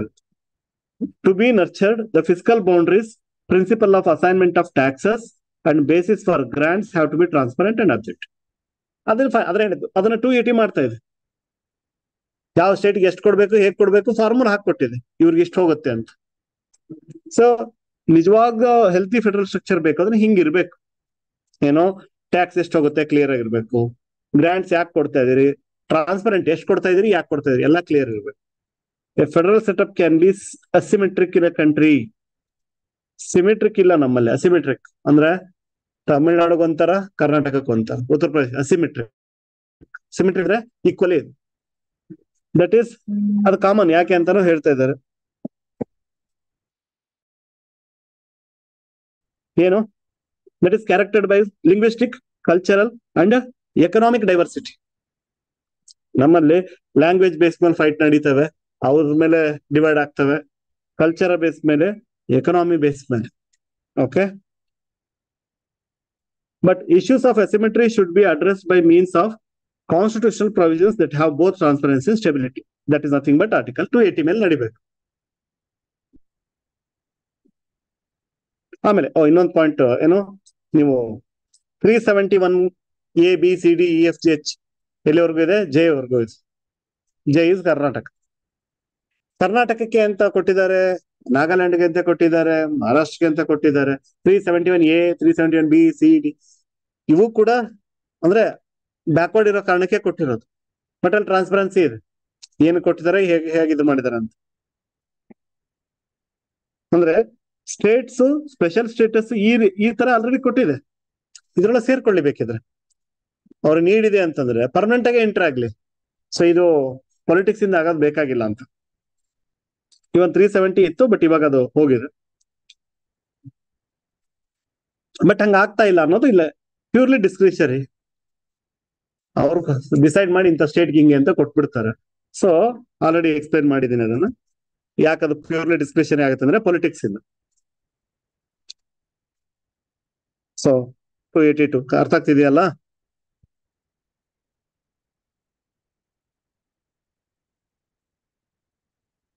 Outcome of election decides that ಅಂತ ಅವ್ರು ಹೇಳ್ತಾ ಇರೋದು. Powers distribution so two eighty ಅಷ್ಟು ಎಕ್ಸ್ಪ್ಲೈನ್ ಮಾಡಿದ್ದೀನಿ ನಿಮಗೆ. ನೀವು ಆಮೇಲೆ ಓದ್ಕೋಬಹುದು ಟೂ ಏಟಿ ಕಾಣಿಸ್ತಿದ್ಯಾ? ಟು ಏಟಿ ಟು ಏನು ಅಂತ ಡಿಫ್ರೆನ್ಸ್ ಹೇಳಿದ್ದೀನಿ. ಇವರು ಇಲ್ಲಿದೆ ನೋಡಿ. ಟೂ ಸೆವೆಂಟಿ ಫೈವ್ ಮೂರು ಡಿಫ್ರೆನ್ಸ್ ಎಕ್ಸ್ಪ್ಲೈನ್ ಮಾಡಿದ್ದೀನಿ. ಸೊ ಅದಕ್ಕೆ ಅವ್ರು ಹೇಳ್ತಾ ಇದಾರೆ. ಸಿಕ್ಸ್ಟೀನ್ ಫೈನಾನ್ಸ್ ಕಮಿಷನ್ಗೆ ವರ್ಕ್ ಮಾಡಕ್ ಬಿಡಿ. ಅದನ್ನ ಬೈಪಾಸ್ ಮಾಡಬೇಡಿ ಅಂತ.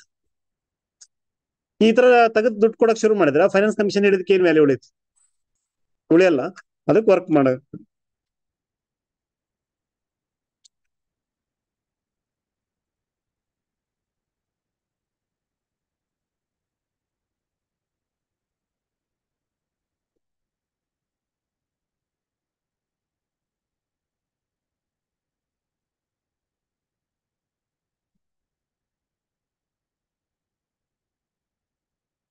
ಓಕೆ ಸೊ ಸುಪ್ರೀಂ ಕೋರ್ಟ್ ಮಾತು ಹೇಳಿದೆ. ಏನೋ ನಮ್ಮ, ಏನು ಪಾಲಿಟಿ ಇದೆಯಲ್ಲ ಆಂಫಿಬಿಯನ್ ಆಂಫಿಬಿಯನ್ ಅಂದ್ರೇನು ಆಂಫಿಬಿಯನ್ ಅಂದ್ರೆ ಯಾವ್ದು ಹೇಳ್ತೀರಾ ಸರ್ ನೀರಲ್ಲೂ ವಾಸ ಮಾಡುತ್ತೆ, ಭೂಮಿ ಎಕ್ಸಾಂಪಲ್ ಫ್ರಾಗ್ ಕರೆಕ್ಟಾ ಹಂಗೆ ನಮ್ಮ ಕಾನ್ಸ್ಟಿಟ್ಯೂಷನ್ ಆಂಫಿಬಿಯನ್ ಹಂಗಂದ್ರೆ ಏನು? ನಮ್ದು ಯೂನಿಟರಿನೂ ಹೌದು ಫೆಡರಲ್ ಹೌದು. ಎಮರ್ಜೆನ್ಸಿ ಬಂದಾಗ ಯೂನಿಟರಿ ಇಲ್ಲ ಇದ್ದಾಗ ಫೆಡರಲ್ ಆಯ್ತಾ? ಸೊ ಆದ್ರೆ ಅನ್ವಾಂಟ್ ಎಮರ್ಜೆನ್ಸಿ ಇಲ್ದೇನೆ ಯೂನಿಟರಿ ಮಾಡಬೇಡಿ ಅನ್ನೋದು ಪಾಯಿಂಟ್ ಇವಾಗ ಯಾವ್ದೋ ಸ್ಟೇಟ್ಗೆ ಎತ್ ಕೊಡ್ತಾ ಇದೀರಾ ಅಂದ್ರೆ ಸೆಂಟರ್ ಎಲ್ಲ ಡಿಸೈಡ್ ಮಾಡುತ್ತೆ ಅಂದ್ರೆ ಯೂನಿಟರಿ ಫೀಚರ್ ಸೊ ಏನು ಎಮರ್ಜೆನ್ಸಿ ಇಲ್ಲದೆ ಟೈಮಲ್ಲಿ ಯೂನಿಟರಿ ಮಾಡಬೇಡಿ. ನ್ಯಾಷನಲ್ ಎಮರ್ಜೆನ್ಸಿ ಇದೆಯಾ? ಅರ್ಥ ಆಗ್ತಿದೆಯಲ್ಲ? ಸ್ಟೇಟ್ ಎಮರ್ಜೆನ್ಸಿ ಇದೆಯಾ? ಆ ಟೈಮಲ್ಲಿ ನೀವು ಕಂಟ್ರೋಲ್ ತಗೊಳಕ್ ನಿಮ್ಮ ರೈಟ್ಸ್ ಇದೆ. ಆದ್ರೆ ಏನು ಎಮರ್ಜೆನ್ಸಿ ಇಲ್ದಿರೋ ನಾರ್ಮಲ್ ಟೈಮಲ್ಲೂ ನೀವು ಕಂಟ್ರೋಲ್ ತಗೊಂಡು ಮಾಡೋದಿದೆ ಅಲ್ಲ? Federal structure not good it unitary or federal depending upon whether there are emergency under three fifty two or three fifty means national emergency state emergency ಈ ಟೈಮಲ್ಲಿ ಬಿಟ್ಟು ನೀವು ಬೇರೆ ಟೈಮಲ್ಲಿ ನಿಮ್ ಕಂಟ್ರೋಲ್ ತಗೊಳ್ಳೋದಿದೆಯಲ್ಲ ದಟ್ ಈಸ್ ನಾಟ್ ಗುಡ್ ಅಂತ supreme court ಹೇಳಿದೆ. Okay state of Rajasthan versus union of India case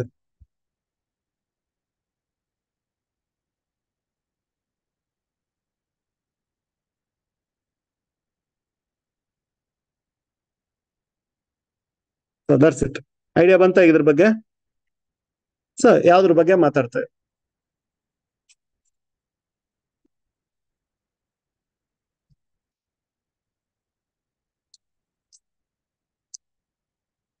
ಇದನ್ನ ನೀವೇ ಓದಿ ಅದ್ರಾಗೇನು ಡಾಟಾ ಇದೆ. ಲೋಕಸಭೆಯಲ್ಲಿ ಎಷ್ಟು ಜನ ರೆಪ್ರೆಸೆಂಟ್ ಆಗಿದ್ದಾರೆ? ಸೊ ಡಾಟಾ ಹೇಳೋದಾದ್ರೆ ಫಸ್ಟ್ ಲೋಕಸಭಾದಿಂದ ನೈನ್ಟೀನ್ ಫಿಫ್ಟಿ ಟೂ ನಲ್ಲಿ. ಅರ್ಥ ಆಯ್ತಲ್ಲ? ಇಪ್ಪತ್ತೆರಡು ಎಂ ಪಿಗಳಿದ್ರು women ಇವತ್ತೆಷ್ಟಿದ್ದಾರೆ seventy four four point five percent ಇಂದ ಹಿಡಿದು ಎಷ್ಟಕ್ಕೆ ಬಂದಿದೆ? ರಫ್ಲಿ ಫೋರ್ಟೀನ್ ಪರ್ಸೆಂಟ್ ಅರೌಂಡ್ ಬಂದಿದೆ. ಬಟ್ ನೆಕ್ಸ್ಟ್ ಆದ್ಮೇಲೆ ತರ್ಟಿ ತ್ರೀ ಪರ್ಸೆಂಟ್ ಆಗುತ್ತೆ. ಓಕೆ ಸೊ ನ್ಯಾಚುರಲ್ ಗ್ರೋತ್ ಅಲ್ಲಿ ತರ್ಟಿ ತ್ರೀ ಪರ್ಸೆಂಟ್ ಅಚೀವ್ ಆಗಿಲ್ಲ. Actually up to fifty percent ಹೋಗ್ಬೇಕದು. But ಎಷ್ಟಿದೆ ಫೋರ್ಟೀನ್ ಪರ್ಸೆಂಟ್ ಅಲ್ಲೇ ನಿಂತ್ಕೊಂಡಿದೆ. ಸೊ ಈ ಡಾಟಾ ಹೆಲ್ಪ್ ಆಗುತ್ತೆ ಆನ್ಸರ್ ಬರೆಯಕ್ಕೆ? ಇನ್ನ ಪಾರ್ಟಿ ವೈಸ್ ವುಮೆನ್ ರೆಪ್ರೆಸೆಂಟೇಷನ್ ನೋಡಿ almost BJP Congress twelve percent range ಅಲ್ಲಿದೆ. Women representation Trinamool Congress sorry ಇಲ್ಲಿದೆ, ಹೊಸದು ಇವಾಗಿದ್ದು ಬಿಜೆಪಿ ರೈಸ್ ಆಗಿದೆ. ಕಾಂಗ್ರೆಸ್ ಅದೇ ರೇಂಜ್ ಅಲ್ಲೇ ಇದೆ. Twelve point three percent Trinamool down ಆಗಿದೆ. ಮುಂಚೆ ಇನ್ನೂ ಜಾಸ್ತಿ ಇತ್ತು. ವುಮೆನ್ ರೆಪ್ರೆಸೆಂಟೇಷನ್ ಸೊ ಹಾಗೆ. ಆಪ್ ಅಲ್ಲಿ ವುಮೆನ್ ರೆಪ್ರೆಸೆಂಟೇಷನ್ ಅಂದ್ರೆ ನಂಬರ್ಸ್ ಕಡಿಮೆ ಇದ್ದಾಗ ಪರ್ಸೆಂಟೇಜ್ ಸಿಕ್ಕಾಬಟ್ಟೆ ಸಿಗ್ನಿಫಿಕೆಂಟ್ ಆಗಿ ಚೇಂಜ್ ಆಗುತ್ತೆ. ಅರ್ಥ ಆಗ್ತಲ್ಲ?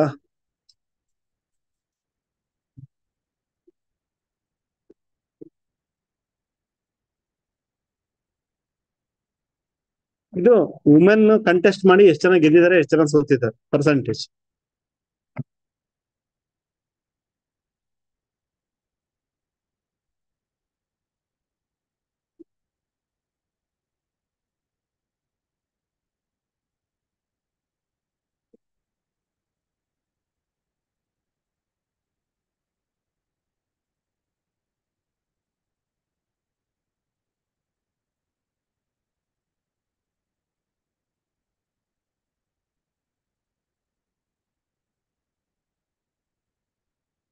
ಟೆಕ್ಸ್ಟ್ ಕಾಲಮ್ ಎಲ್ಲೋಯ್ತು ಮುಂದಿನ ಹಿಂದೆನ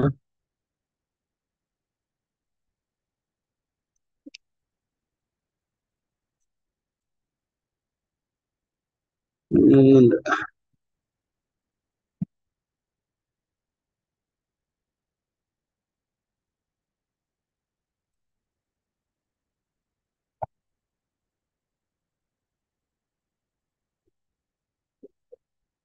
ಎಸ್ ಇದು ನ್ಯೂಸ್ ಅಲ್ಲಿ ಇತ್ತಲ್ವಾ ಅರ್ಥ ಮಾಡ್ಕೊಳ್ಳಿ ಪ್ರಿಲಿಮ್ಸ್ ಕ್ವಶನ್ ಆಗುತ್ತೆ. ಹೇಳಿದ್ದೀನಿ ಬಟ್ ಇಲ್ಲ, ಇನ್ನೂ ಡೀಟೇಲ್ ಆಗಿ. ಎಕ್ಸ್ಪಂಕ್ಷನ್ ಪವರ್ಸ್ ಇನ್ ಪಾರ್ಲಿಮೆಂಟ್ ಏನಿದು? ಅದೇ ರಿಮೂವಲ್ ಪವರ್ಸ್ ಯಾವ ರಿಮೂ ಏನ್ ರಿಮೂವಲ್ ಕಂಟೆಂಟ್ ಅವ್ರು ಮಾತಾಡಿದ್ದನ್ನ ಔಟ್ ಆಫ್ ದ ರೆಕಾರ್ಡ್ ಅದೇ ಎಕ್ಸ್ಪಂಕ್ಷನ್ ಪವರ್ಸ್ ಸ್ಪೀಕರ್ಗಿದೆಯಾ ಅಂತ. ಇದೆ ಸ್ಪೀಕರ್ಗೆ ಇದೆ ಚೇರ್ಮನ್ಗಿದೆ ಓಕೆ ಎರಡು ಹೌಸಲ್ಲೂ ಹಂಗೆ ಆಗಿದೆ. ಅಂದ್ರೆ ಆ ಕಡೆಗೆ ರಾಜ್ಯಸಭಾದಲ್ಲೂ ಅದೇ ಕೆಲಸ ಮಾಡಿದ್ದಾರೆ. ಖರ್ಗೆ ಅವ್ರ ಸ್ಪೀಚ್ ಅಲ್ಲಿ ಕಟ್ ಮಾಡಿ ರೆಕಾರ್ಡ್ ಮಾಡಿದ್ದಾರೆ. ಈ ಕಡೆಗೆ ರಾಹುಲ್ ಗಾಂಧಿದಕ್ಕೂ ಅದೇ ಮಾಡಿದ್ದಾರೆ. ಸೊ ಹಂಗಾಗಿ ಪವರ್ಸ್ ಎಷ್ಟಿದೆ? ಪ್ರಿಲಿಮ್ಸ್ಗೆ ನಿಮ್ಗೆ ಒಳ್ಳೆ ಕ್ವಶನ್ ಆಗುತ್ತೆ. ನಾನು ನಿಮ್ಗೆ ಅವತ್ತು ಹೇಳಿದೆ. ಇವತ್ತು ಮುಂಚೆ ಅದು ಟ್ರೂ ಸೆನ್ಸ್ ಅಲ್ಲಿ ಹೋಗ್ಬಿಡೋದು ರೆಕಾರ್ಡ್ ಇದ್ದ. ಇವಾಗ ವಿಡಿಯೋಗಳ ರೆಕಾರ್ಡ್ ಫಸ್ಟ್ ಯಾವಾಗ ಓಪನ್ ಮಾಡಿದ್ರು ವಿಡಿಯೋ ಸಿಕ್ಕೇ ಸಿಗುತ್ತೆ. ಓನ್ಲಿ ಪಾರ್ಲಿಮೆಂಟ್ ರೆಕಾರ್ಡ್ ಇಂದ ಹೋಗುತ್ತೆ ಸರಿ ಬಟ್ ಫಾರ್ ಎವರ್ ಇಂಟರ್ನೆಟ್ ಅಲ್ಲಿ ಉಳ್ಕೊಳುತ್ತೆ ಅದ್ ತೆಗೆದ್ರು ಅನ್ನೋದಕ್ಕೆ ಏನು ಅಂತ ಇದು ಉಳಿಯಲ್ಲ. ಸೆಕೆಂಡ್ ಥಿಂಗು ಆಯ್ತು. ಎಷ್ಟು ಪವರ್ ಇದೆ? ಒಂದು ಯಾರಿಗೆ ಪವರ್ ಇದೆ? ಎಕ್ಸ್ಪಂಕ್ಷನ್ ಎಕ್ಸ್ಪಂಕ್ಷನ್ ಅಂದ್ರೆ taking content from the record parliamentary record ನೋಡಿ. Rajya Sabha chairman Jagdeep Dhankhar removed Mallikarjun Kharge speech okay where he was criticising prime minister Modi and R S S In lower house, Rahul Gandhi's remarks on PM were expunged from the records of the address of okay, Speaker Om Birla.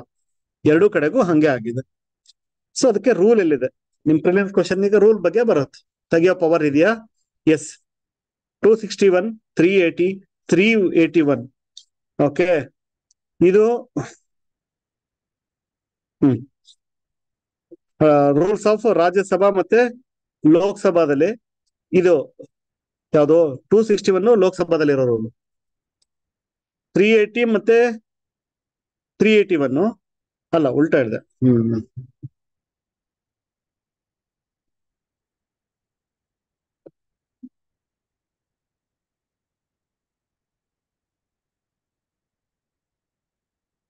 ರಾಜ್ಯಸಭಾದಲ್ಲಿ two sixty one ಇದು mix ಆಗಿದೆ ಅಲ್ಲ?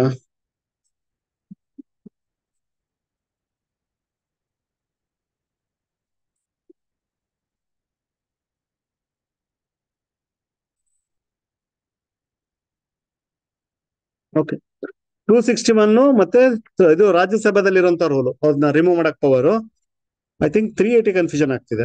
Three eighty one ಲೋಕಸಭೆದಲ್ಲಿರುವಂತ rule okay I think ಇವೆರಡು ಲೋಕಸಭೆದಲ್ಲಿದೆ, ಇದು ರಾಜ್ಯಸಭಾದಲ್ಲಿದೆ. ಏನಿವೆ ಆ rules ಪ್ರಕಾರ ಅವ್ರು ತೆಗಿಯಕ್ಕಿದೆ ಯಾವ ವಿಚಾರದಲ್ಲಿ ತೆಗಿಬಹುದು ಓಕೆ ಯಾವ ವಿಚಾರದಲ್ಲಿ ತೆಗಿಬಹುದು ಆಕ್ಚುಲಿ ಹಿಂದೆಲ್ಲ ಯಾವ್ಯಾವ ವಿಚಾರ ತೆಗ್ದಿದ್ದಾರೆ ಅಂದ್ರೆ ಡಿರೋಗೆ ಲೈಕ್ ನೇಷನ್ ಅಗೇನೆಸ್ಟ್ ಮಾತಾಡಿರೋದು ಅಥವಾ ಬೇರೆ ಪ್ರ ನೇಷನ್ ಇಂದು ಹೆಡ್ ಅವ್ರ ಬಗ್ಗೆ ಕೆಟ್ಟದಾಗ ಮಾತಾಡಿರೋದು.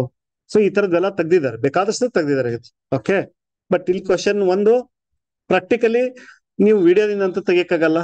ಅದು ಎಲ್ಲಾ ಕಡೆಗೂ ಇರುತ್ತೆ. ಎರಡನೇದು ಸೊ ತೆಗಿಯಕ್ ಪವರ್ ಇದೆಯಾ? ಇದೆ.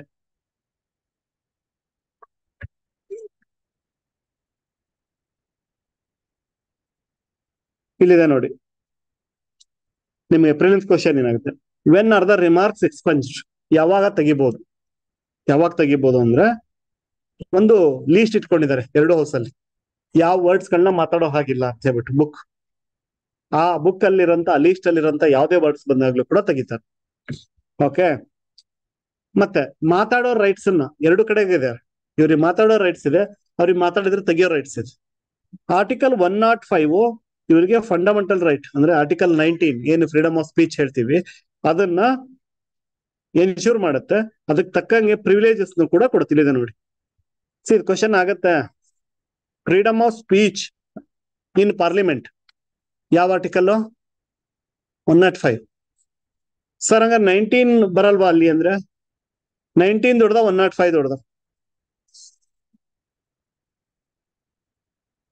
One not five is powerful than nineteen ಹೇಳಿದ್ದೀನಿ ಹಿಂದೆ one not five is powerful than nineteen got it ಇನ್ನೊಂದು ಸರ್ ಫಂಡಮೆಂಟಲ್ ರೈಟ್ ಇಲ್ವಾ? ಹಂಗಾರೆ ಎಂ ಪಿಸ್ ಗಳಿಗೆ ಅನ್ಬೇಡಿ. Nineteen by default as a citizen ಅವ್ರಿಗೆ ಅವೈಲೇಬಲ್ ಇದೆ. Plus one not five extra security ಈಗ ಇಲ್ಲಿ ಹೇಳಿದ್ ನಾನು ನಿಮಗೆ, ಸತಿ ಬಗ್ಗೆ ಮಾತಾಡಿದ್ರು, ಡೌರಿ ಬಗ್ಗೆ ಮಾತಾಡಿದ್ರು, ಅವ್ರನ್ನ ಕರ್ಕೊಂಡು ಹೋಗ್ಬಿಟ್ಟು ಪನಿಷ್ ಮಾಡಕ್ಕಾಗ ಅದೇ ನೈನ್ಟೀನ್ ಹಂಡ್ರೆಡ್ ನೀವು ನಾವು ಮಾತಾಡಿದ್ರೆ ಜೈಲ್ಗೆ ಹೋಗ್ಬೇಕಾಗತ್ತೆ. ಅದ್ರೆ ಹೇಳಿದ್ದು ನೈನ್ಟೀನ್ ಇದೆ. ನೈನ್ಟೀನ್ ಜೊತೆಗೆ ಒನ್ ನಾಟ್ ಫೈವ್ ಅದನ್ನೇ ಹೇಳೋದು certain privileges and freedom of speech in the parliament on MPs ಈ ಕ್ವಶನ್ ಬಂದಿಲ್ಲ, ಬರುತ್ತೆ ನೋಡಿ. ಕನ್ಫ್ಯೂಷನ್ ಮಾಡ್ಕೊಂಡೇ ಮಾಡ್ಕೋತೀವಿ. ಫ್ರೀಡಮ್ ಆಫ್ ಸ್ಪೀಚ್ ಎಂ ಪಿಸ್ ಗಳಿಗೆ. ಪಾರ್ಲಿಮೆಂಟ್ ಒಳಗಡೆಗೆ ಅಂದ್ರೆ one not five okay ಅವನೇನಾದ್ರೂ options nineteen one not five ಕೊಟ್ರೆ ಯಾವ್ದು ಟಿಕ್ ಮಾಡ್ತೀರಿ? One not five multiple options ಕೊಟ್ರ? ಮಲ್ಟಿಪಲ್ ಆಪ್ಷನ್ಸ್ ಚಾಯ್ಸ್ ಕೊಟ್ರ? ಒನ್ ಟು ಬೋತ್ ನನ್ ಯಾವ್ದು ಹಾಕ್ತೀರಿ? ಅದ ಹೇಳಿದ್ನಲ್ಲ the freedom of speech of the MPs in the parliament is guaranteed by nineteen ಇಲ್ವಾ? ಅಲ್ಲಿ ಆಪ್ಷನ್ ಏನಾರ ಎರಡು ಕೊಟ್ರೆ ಒನ್ ಟು ಬೋತ್ ನನ್ ಅಂದ್ರೆ ಬೋತ್ ಹಾಕಿ. ಆಸ್ ಅ ಸಿಟಿಸನ್ ಅವನಿಗೆ ಹಂಡ್ರೆಡ್ ಪರ್ಸೆಂಟ್ ಇದೆ. ಒಂದೇ ಒಂದು ಆಪ್ಷನ್ ಕೇಳಿದ್ರೆ ಪಾರ್ಲಿಮೆಂಟ್ ಒಳಗಡೆ ಅಂದ್ರೆ ಒನ್ ನಾಟ್ ಫೈವ್ ಹಾಕಿ. ಇದು ಬಂದಿಲ್ಲ ಕ್ವಶನ್ ಯಾಕಂದ್ರೆ ನಮ್ಮ mind fine tune ಆಗ್ಬಿಟ್ಟಿರುತ್ತೆ. Freedom of speech and expression ಅದ ತಕ್ಷಣ ನೈನ್ಟೀನ್ ಹೊಡಿಯೋದು ಏನಕ್ಕೆ ಸಪರೇಟ್ ಮಾಡಿದಾರೆ ಅಂತ ನಿಮ್ಗೆ ಹೇಳಿದೆ. ಡಿಸ್ಕಷನ್ ಮಾಡ್ಬೇಕಾದ್ರೆ ಅವ್ರಿಗೆ ಯಾವ್ದೋ ಒಂದು ಫಿಯರ್ ಇರಬಾರ್ದು. ನಾನೇನೋ ಹೇಳ್ಬಿಟ್ರೆ ಅಲ್ಲಿ ಹೊರಗಡೆ ಕೇಸ್ ಹಾಕ್ತಾರೆ ಅಂತ. ಸೊ ಅದಕ್ಕೆ ಆ ಫ್ರೀ ಮೈಂಡ್ ಇಂದ ಮಾತಾಡೋಕೆ ಅಲೋಡ್ ಇರ್ಲಿ ಅಂತಾನೆ ಕೊಟ್ಟಿರೋದು. ಇಲ್ಲೇ, ಅಲ್ಲೇ ಕೊಟ್ಟಿದ್ದಾರೆ ನೋಡಿ. And it is subject to other provisions of the constitution ಅರ್ಥ ಏನು? Nineteen understood and the rules of the house rules of the house ಅಂತ ಬಂದಾಗ ಅದು ರಿಮೂವ್ ಮಾಡೋ ರೈಟ್ಸ್ ನೀವು ಫೇಸ್ ಮಾಡಕ್ ರೆಡಿ ಇರಬೇಕು ಅಂತ. ಆನ್ ಆರ್ಡರ್ಸ್ ಆಫ್ ಸ್ಪೀಕರ್ ಅದು, ಇಲ್ಲಿ ನೋಡಿದೆ ಡಿಫಮೆಟ್ರಿ ಇದ್ರೆ ತೆಗೆದಾಕ್ತಾರೆ ಇಂಡಿಸೆಂಟ್ ಇದ್ರೆ ತೆಗಿತಾರೆ ಅನ್ಡಿಗ್ನಿಫೈಡ್ ಅನ್ಪಾರ್ಲಿಮೆಂಟ್ರಿ ಇದ್ರೂ ತೆಗೆದಾಕ್ತಾರೆ. ಓಕೆ ಅದಕ್ಕೊಂದು ಬುಕ್ಕೆ ಇಟ್ಬಿಟ್ಟಿದ್ದಾರೆ. ಯಾವ್ಯಾವ ವರ್ಡ್ಗಳು ಹಂಗೆ ಅಂತ ಹೇಳ್ಬಿಟ್ಟು. ಸೊ ಯಾರು ಬೈಬೇಕು ಅಂದ್ರೆ ಆ ಬುಕ್ ನೀವು ಬಾರೋ ಮಾಡ್ಕೊಂಡು ಓದ್ಬೇಕು. ಅರ್ಥ ಆಯ್ತಾ? ಅಗೇನ್ ಇಲ್ಲಿ ಸ್ಪೀಕರ್ ಚೇರ್ಮನ್ದೇ ವರ್ಡ್ ಫೈನಲ್ ಗೊತ್ತಿರ್ಲಿ. ಅವರಿದು ಡಿರೋಗೇಟ್ರಿ ಅಂದ್ರೆ ಡಿರೋಗೇಟ್ರಿ ತೆಗೆದಾಕಿ ಅಂದ್ರೆ ತೆಗೆದಾಕಿ. ಅಷ್ಟೇ. ಹಿಂದೆ ಹಿಂಗಾಗಿರೋಕೆ ಎಕ್ಸಾಂಪಲ್ ಕೊಟ್ಟಿದ್ದಾರೆ. ಇಲ್ಲಿ ಕೊಟ್ಟಿದ್ದಾರೆ ನೋಡಿ.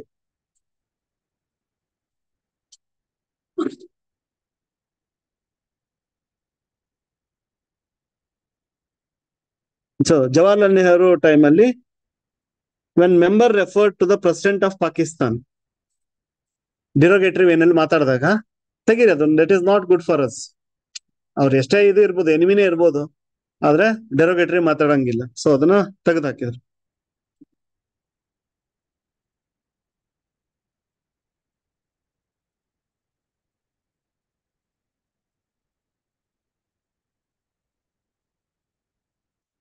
Okay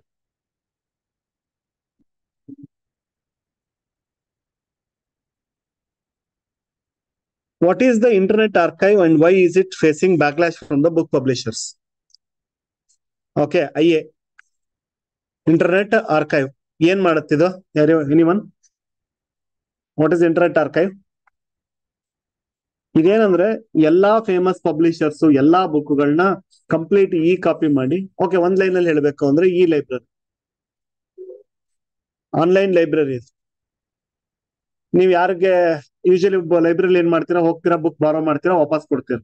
ಆಯ್ತಾ? ಸೊ ಇದು ಕೂಡ ಹಂಗೆ, ಇದು ಶುರು ಆಗಕ್ ರೀಸನ್ ಯಾವಾಗ ಅಂದ್ರೆ ಕೋವಿಡ್ ಟೈಮ್ ಅಲ್ಲಿ ಫಿಸಿಕಲ್ ಲೈಬ್ರರಿ ಎಲ್ಲಾ ಕ್ಲೋಸ್ ಡೌನ್ ಆದಾಗ. ಸೊ ಇವ್ರೇನ್ ಅನ್ಕೊಂಡ್ರು ಅಟ್ಲೀಸ್ಟ್ ಮನೇಲಿದ್ದು ಓದ್ಕೊಳಕ್ಕೆ ಅವ್ರಿಗೆ ಸಿಗೋ ತರ ಆಗ್ಲಿ ಎಲ್ಲ ಅದು ಅಂತ ಹೇಳ್ಬಿಟ್ಟು ಎವ್ರಿಥಿಂಗ್ ಈಸ್ ಡಿಜಿಟೈಸ್ಡ್ ಪ್ರಿಂಟೆಡ್ ಕಾಪಿನ ಡಿಜಿಟಲ್ ಮಾಡಿಬಿಟ್ಟು ಓಕೆ ಸೊ ಅವೈಲೇಬಲ್ ಮಾಡಿದ್ರು. ಸೊ ಬುಕ್ ಪಬ್ಲಿಷರ್ಸ್ ಆಬ್ವಿಯಸ್ಲಿ ನಮ್ಮ ಕಾಪಿ ರೈಟ್ ವೈಲೇಷನ್ ಆಗಿದೆ ಅಂತ ಕೇಸ್ ಹಾಕಿದ್ರು. ಆಯ್ತಾ? ಸಿ ಓದೋ, ಈಗೇನಾಯ್ತು ವಾಪಸ್ಸು ಅರ್ಧಕ್ಕೆ ಅರ್ಧ ಬುಕ್ಸ್ ಗಳನ್ನ ಅವರು ತೆಗೆದಾಕಿದ್ರು. ರಿಮೂವ್ ಮಾಡಿದ್ರು ಅದರಿಂದ. ಸೊ ಗುಡ್ಡ ಬ್ಯಾಡ ಎರಡು ಆನ್ಸರ್ ಪಬ್ಲಿಷರ್ಸ್ ಅವ್ರ ರೈಟ್ ವೈಲೇಟ್ ಆಗಿದ್ದು, ಅವ್ರಿಗೆ ಲಾಸ್ ಆಗೋದು ಕರೆಕ್ಟ್ ಬಟ್ ಈ ರೆಪಾಸಿಟರಿ ಎಷ್ಟು ಮಟ್ಟಿಗೆ ನಾಲೆಜ್ ಸ್ಪ್ರೆಡ್ ಆಗಿ ಹೆಲ್ಪ್ ಮಾಡಿರೋದು ಓಕೆ ಸೊ ಎರಡು ಪಾರ್ಟ್ ಇದೆ ಅಲ್ಲಿ. ಸೊ ಇದು ಅದ್ರ ಬಗ್ಗೆ ಮಾತಾಡ್ತಾ ಇದಿಷ್ಟೇ ಇಲ್ಲಿದೆ ನೋಡಿ. ವೇಬ್ ಚಿಕ್ಕ ಚಿಕ್ಕ ಕ್ವಶನ್ಸ್ ಪ್ರಿಲಿಮ್ಸ್ ಅಲ್ಲಿ ಎತ್ಕೊಂಡ್ ಬರ್ತಾನೆ. ಇಂಟರ್ನೆಟ್ ಆರ್ಕೈವ್ ಅಂದ್ರೆ ಏನು? ಬೇಡ. ವೇ ಬ್ಯಾಕ್ ಮೆಷಿನ್ ಅಂದ್ರೆ ಏನು? What is way back machine ಹೆಸರಲ್ಲೇ ಇದೆ. ಇಂಟರ್ನೆಟ್ ಅಲ್ಲಿ ಯೂಶಲಿ ಏನಂದ್ರೆ, ನೀವು ಹಿಂದೆ ಯಾವ್ದೋ ಒಂದ್ ಇರುತ್ತೆ ಹುಡುಕ್ತಿರ್ತೀರ, ಸಿಗೋದಿಲ್ಲ. For example K P S C ಅಥವಾ ಯು ಪಿ ಎಸ್ ಇದೆ, ಎರಡ್ ಸಾವಿರದ ಒಂಬತ್ತರ ಪೇಪರ್ ಬೇಕು ಅಂತ ತೆಗೆದ್ರೆ ಇದೆಯಾ? Two thousand nine question paper ಬೇಕು ಅಂತ U P S C website ಹೋದ್ರೆ ಸಿಗುತ್ತಾ? ಇಲ್ಲ. ಇದೆಯಾ? ಇಲ್ಲ ಅಲ್ಲಿ. ಸೊ ಇನ್ಯಾರೋ ಬೇರೆ ವೆಬ್ಸೈಟ್ ಅವರು ಅದನ್ನ ಸ್ಟೋರ್ ಮಾಡಿದ್ರೆ ಇರುತ್ತೆ. ಅಲ್ಲೋ ಸಿಗುತ್ತೆ ಬಟ್ ಒರಿಜಿನಲ್ ವೆಬ್ಸೈಟ್ ಅಲ್ಲಿ ಇಲ್ಲ. ಯಾವ್ದೋ ಇಂಪಾರ್ಟೆಂಟ್ ಇರೋದಕ್ಕೆ ಸ್ಟೋರ್ ಮಾಡಿರ್ತಾರೆ, ಎಲ್ಲ ಸಿಗ್ಬೇಕು ಅಂತಿಲ್ಲ. ಆದ್ರೆ, ಇದೇನ್ ಮಾಡ್ತಾ ಇದೆ ವೇ ಬ್ಯಾಕ್ ಮೆಷಿನ್ ಏನಂದ್ರೆ ಏನೇ ಇಂಟರ್ನೆಟ್ ಅಲ್ಲಿ ಪೇಜಸ್ಗಳು ಆಡ್ ಆಗ್ತಾ ಹೋಗ್ಲಿ, ಎಲ್ಲದನ್ನು ಸ್ಟೋರ್ ಮಾಡ್ತಾ ಬರುತ್ತೆ ಇನ್ಕ್ಲೂಡಿಂಗ್ ನಿಮ್ಮ ಕಮೆಂಟು ನಿಮ್ಮ ಪೋಸ್ಟ್ ಅದಕ್ಕೆ reply everything way back machine ಅಂದ್ರೆ ಹಳೇದು ಅಷ್ಟು ಸ್ಟೋರ್ ಮಾಡ್ಕೊಂಡ್ ಬರುತ್ತೆ. ನೀವು ಅವತ್ ಅಲ್ಲಿ ಸಿಕ್ಕಿಲ್ಲ ಅಲ್ವಾ ಇಲ್ಲಿ ಹೋದ್ರೆ ಹಳೆ ರೆಕಾರ್ಡ್ ಓಪನ್ ಮಾಡಿ, ಹಳೆ ನ್ಯೂಸ್ ಪೇಪರ್ ಓಪನ್ ಮಾಡಿ ನೋಡ್ತಿರಲ್ಲ, ಹಾಗೆ ಆ ಪೇಜು ನಿಮ್ಗೆ ಯಾವ್ದೋ ಒಂದು ವೆಬ್ಸೈಟ್ ಇರುತ್ತೆ, ನೀವು ಕ್ಲೋಸ್ ಮಾಡಿರ್ತೀರಿ. ಬಟ್ ಹಳೆ ವೆಬ್ಸೈಟ್ ಅವಾಗ ಹೆಂಗಿತ್ತು, ಹಂಗೆ ತೋರಿಸುತ್ತೆ. That's why way back machine ಅಂತ. ಇಲ್ಲಿದೆ ನೋಡಿ. ನೈನ್ಟೀನ್ ನೈನ್ಟಿ ಸಿಕ್ಸ್ ಇಂದ ಇದು ಮಾಡ್ಕೊಂಡ್ ಬಂದಿದ್ದು. ಎಲ್ಲಾ ವೆಬ್ ಪೇಜ್ ಗಳನ್ನ ಸ್ಟೋರ್ ಮಾಡ್ಕೊಂತ ಬರೋದು. So eight sixty six billion web page ಗಳನ್ನ ಇದು ಸ್ಟೋರ್ ಮಾಡಿದ್ರು ಓಕೆ ಅಂದ್ರೆ ಇವರು ಇಂಟರ್ನೆಟ್ ನೇ ಆರ್ಕೈವ್ ಮಾಡ್ತಾ ಇದ್ರು ಯಾವ್ದೋ ಒಂದ್ ಇದನ್ನಲ್ಲ. Archiving internet itself internet ಅಲ್ಲಿ ಏನೇ ಬಂದ್ರು ಅದನ್ನ ಸ್ಟೋರ್ ಮಾಡೋದು ಕೆಲಸ. ಬಟ್ ಎನಿವೆ ಅದು ಕಾಂಟ್ರವರ್ಸಿ ಆಗಿದೆ ಕಾಪಿರೈಟ್ ವೈಲೇಷನ್ ಆಗುತ್ತೆ ಅಂತ ಹೇಳ್ಬಿಟ್ಟು ಸೊ ರಿಮೂವ್ ಮಾಡಿದ್ದಾರೆ.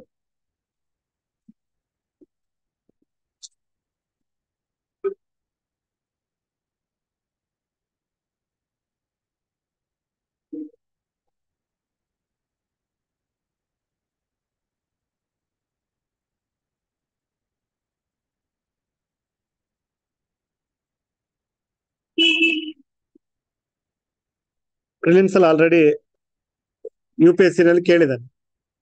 ಗ್ರಾಫೀನ್ ಬಗ್ಗೆ ಕ್ವಶನ್ ಆಗಿತ್ತು. Okay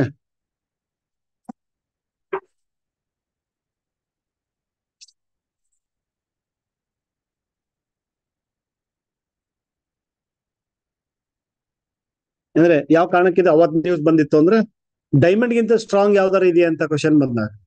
Yes graphene is stronger than diamond okay so news ಅಲ್ಲಿ ಇತ್ತು ಪ್ರಿಲಿಮ್ಸ್ ಅಲ್ಲಿ ಕ್ವಶನ್ ಹಾಕಿದ್ದು. ಗ್ರಾಫಿನ್ ಓದ್ಕೊಳ್ಳಿ.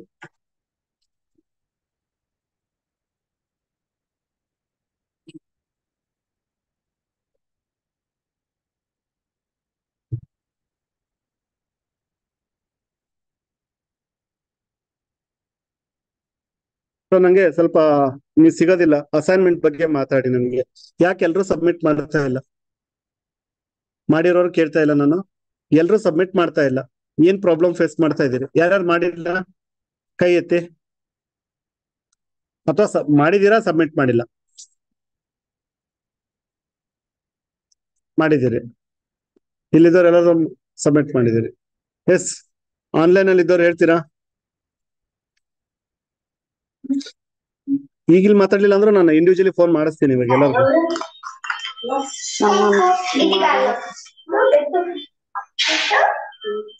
बघा काकू काकू ती Yes. मदत करते बघा काकू Sheela Gowda one by one ಕೇಳ್ಕೊಂಬರ್ಲ ಮಾಡಿಲ್ಲ बघा ती ಸರ್ मदत ಮಾಡಿಲ್ಲ ಅದಕ್ಕೆ ಕೇಳಿದ್ದು ಯಾರು ಮಾಡಿಲ್ಲ ಅವ್ರು ಮಾತಾಡ್ಲಿ मुलगी लावली की ते ನನ್ दाखवू ಬೇಬಿ घेतला घेतला ಬಿಡ್ತಾ ಇಲ್ಲ ನನ್ ಟೈಮೇ ಕನ್ವೀನಿಯಂಟ್ ಆಗೋಲ್ ಸರ್ ನಮ್ಗೆ ಇನ್ಫಾರ್ಮ್ ಮಾಡಿದ್ರಾ ನೀವು ಸುಮ್ಮನೆ ನಿಮ್ ಪಾಡಿಗೆ ಇರ್ಬೇಡಿ ಅದಕ್ಕೆ ಏನಾರ ಪ್ರಾಬ್ಲಮ್ ಹೆಂಗೆ ಟ್ಯಾಕಲ್ ಮಾಡ್ಬೇಕು ಮಾತಾಡ್ಬೇಕಲ್ವಾ? ನೀವು ಸುಮ್ನೆ ಇದ್ರೆ ಟೈಮ್ ಆಗ್ತಿಲ್ಲ ಅಂತ ಹೇಳ್ಬಿಟ್ಟು.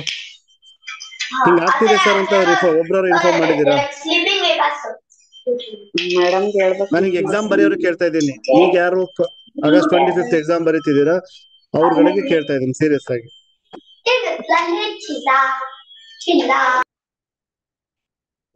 ಹ್ಮ್?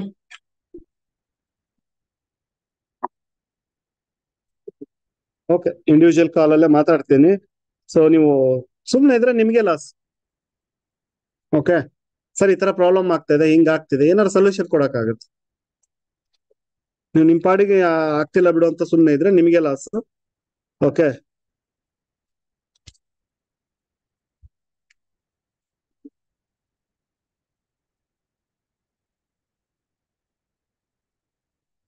okay thank you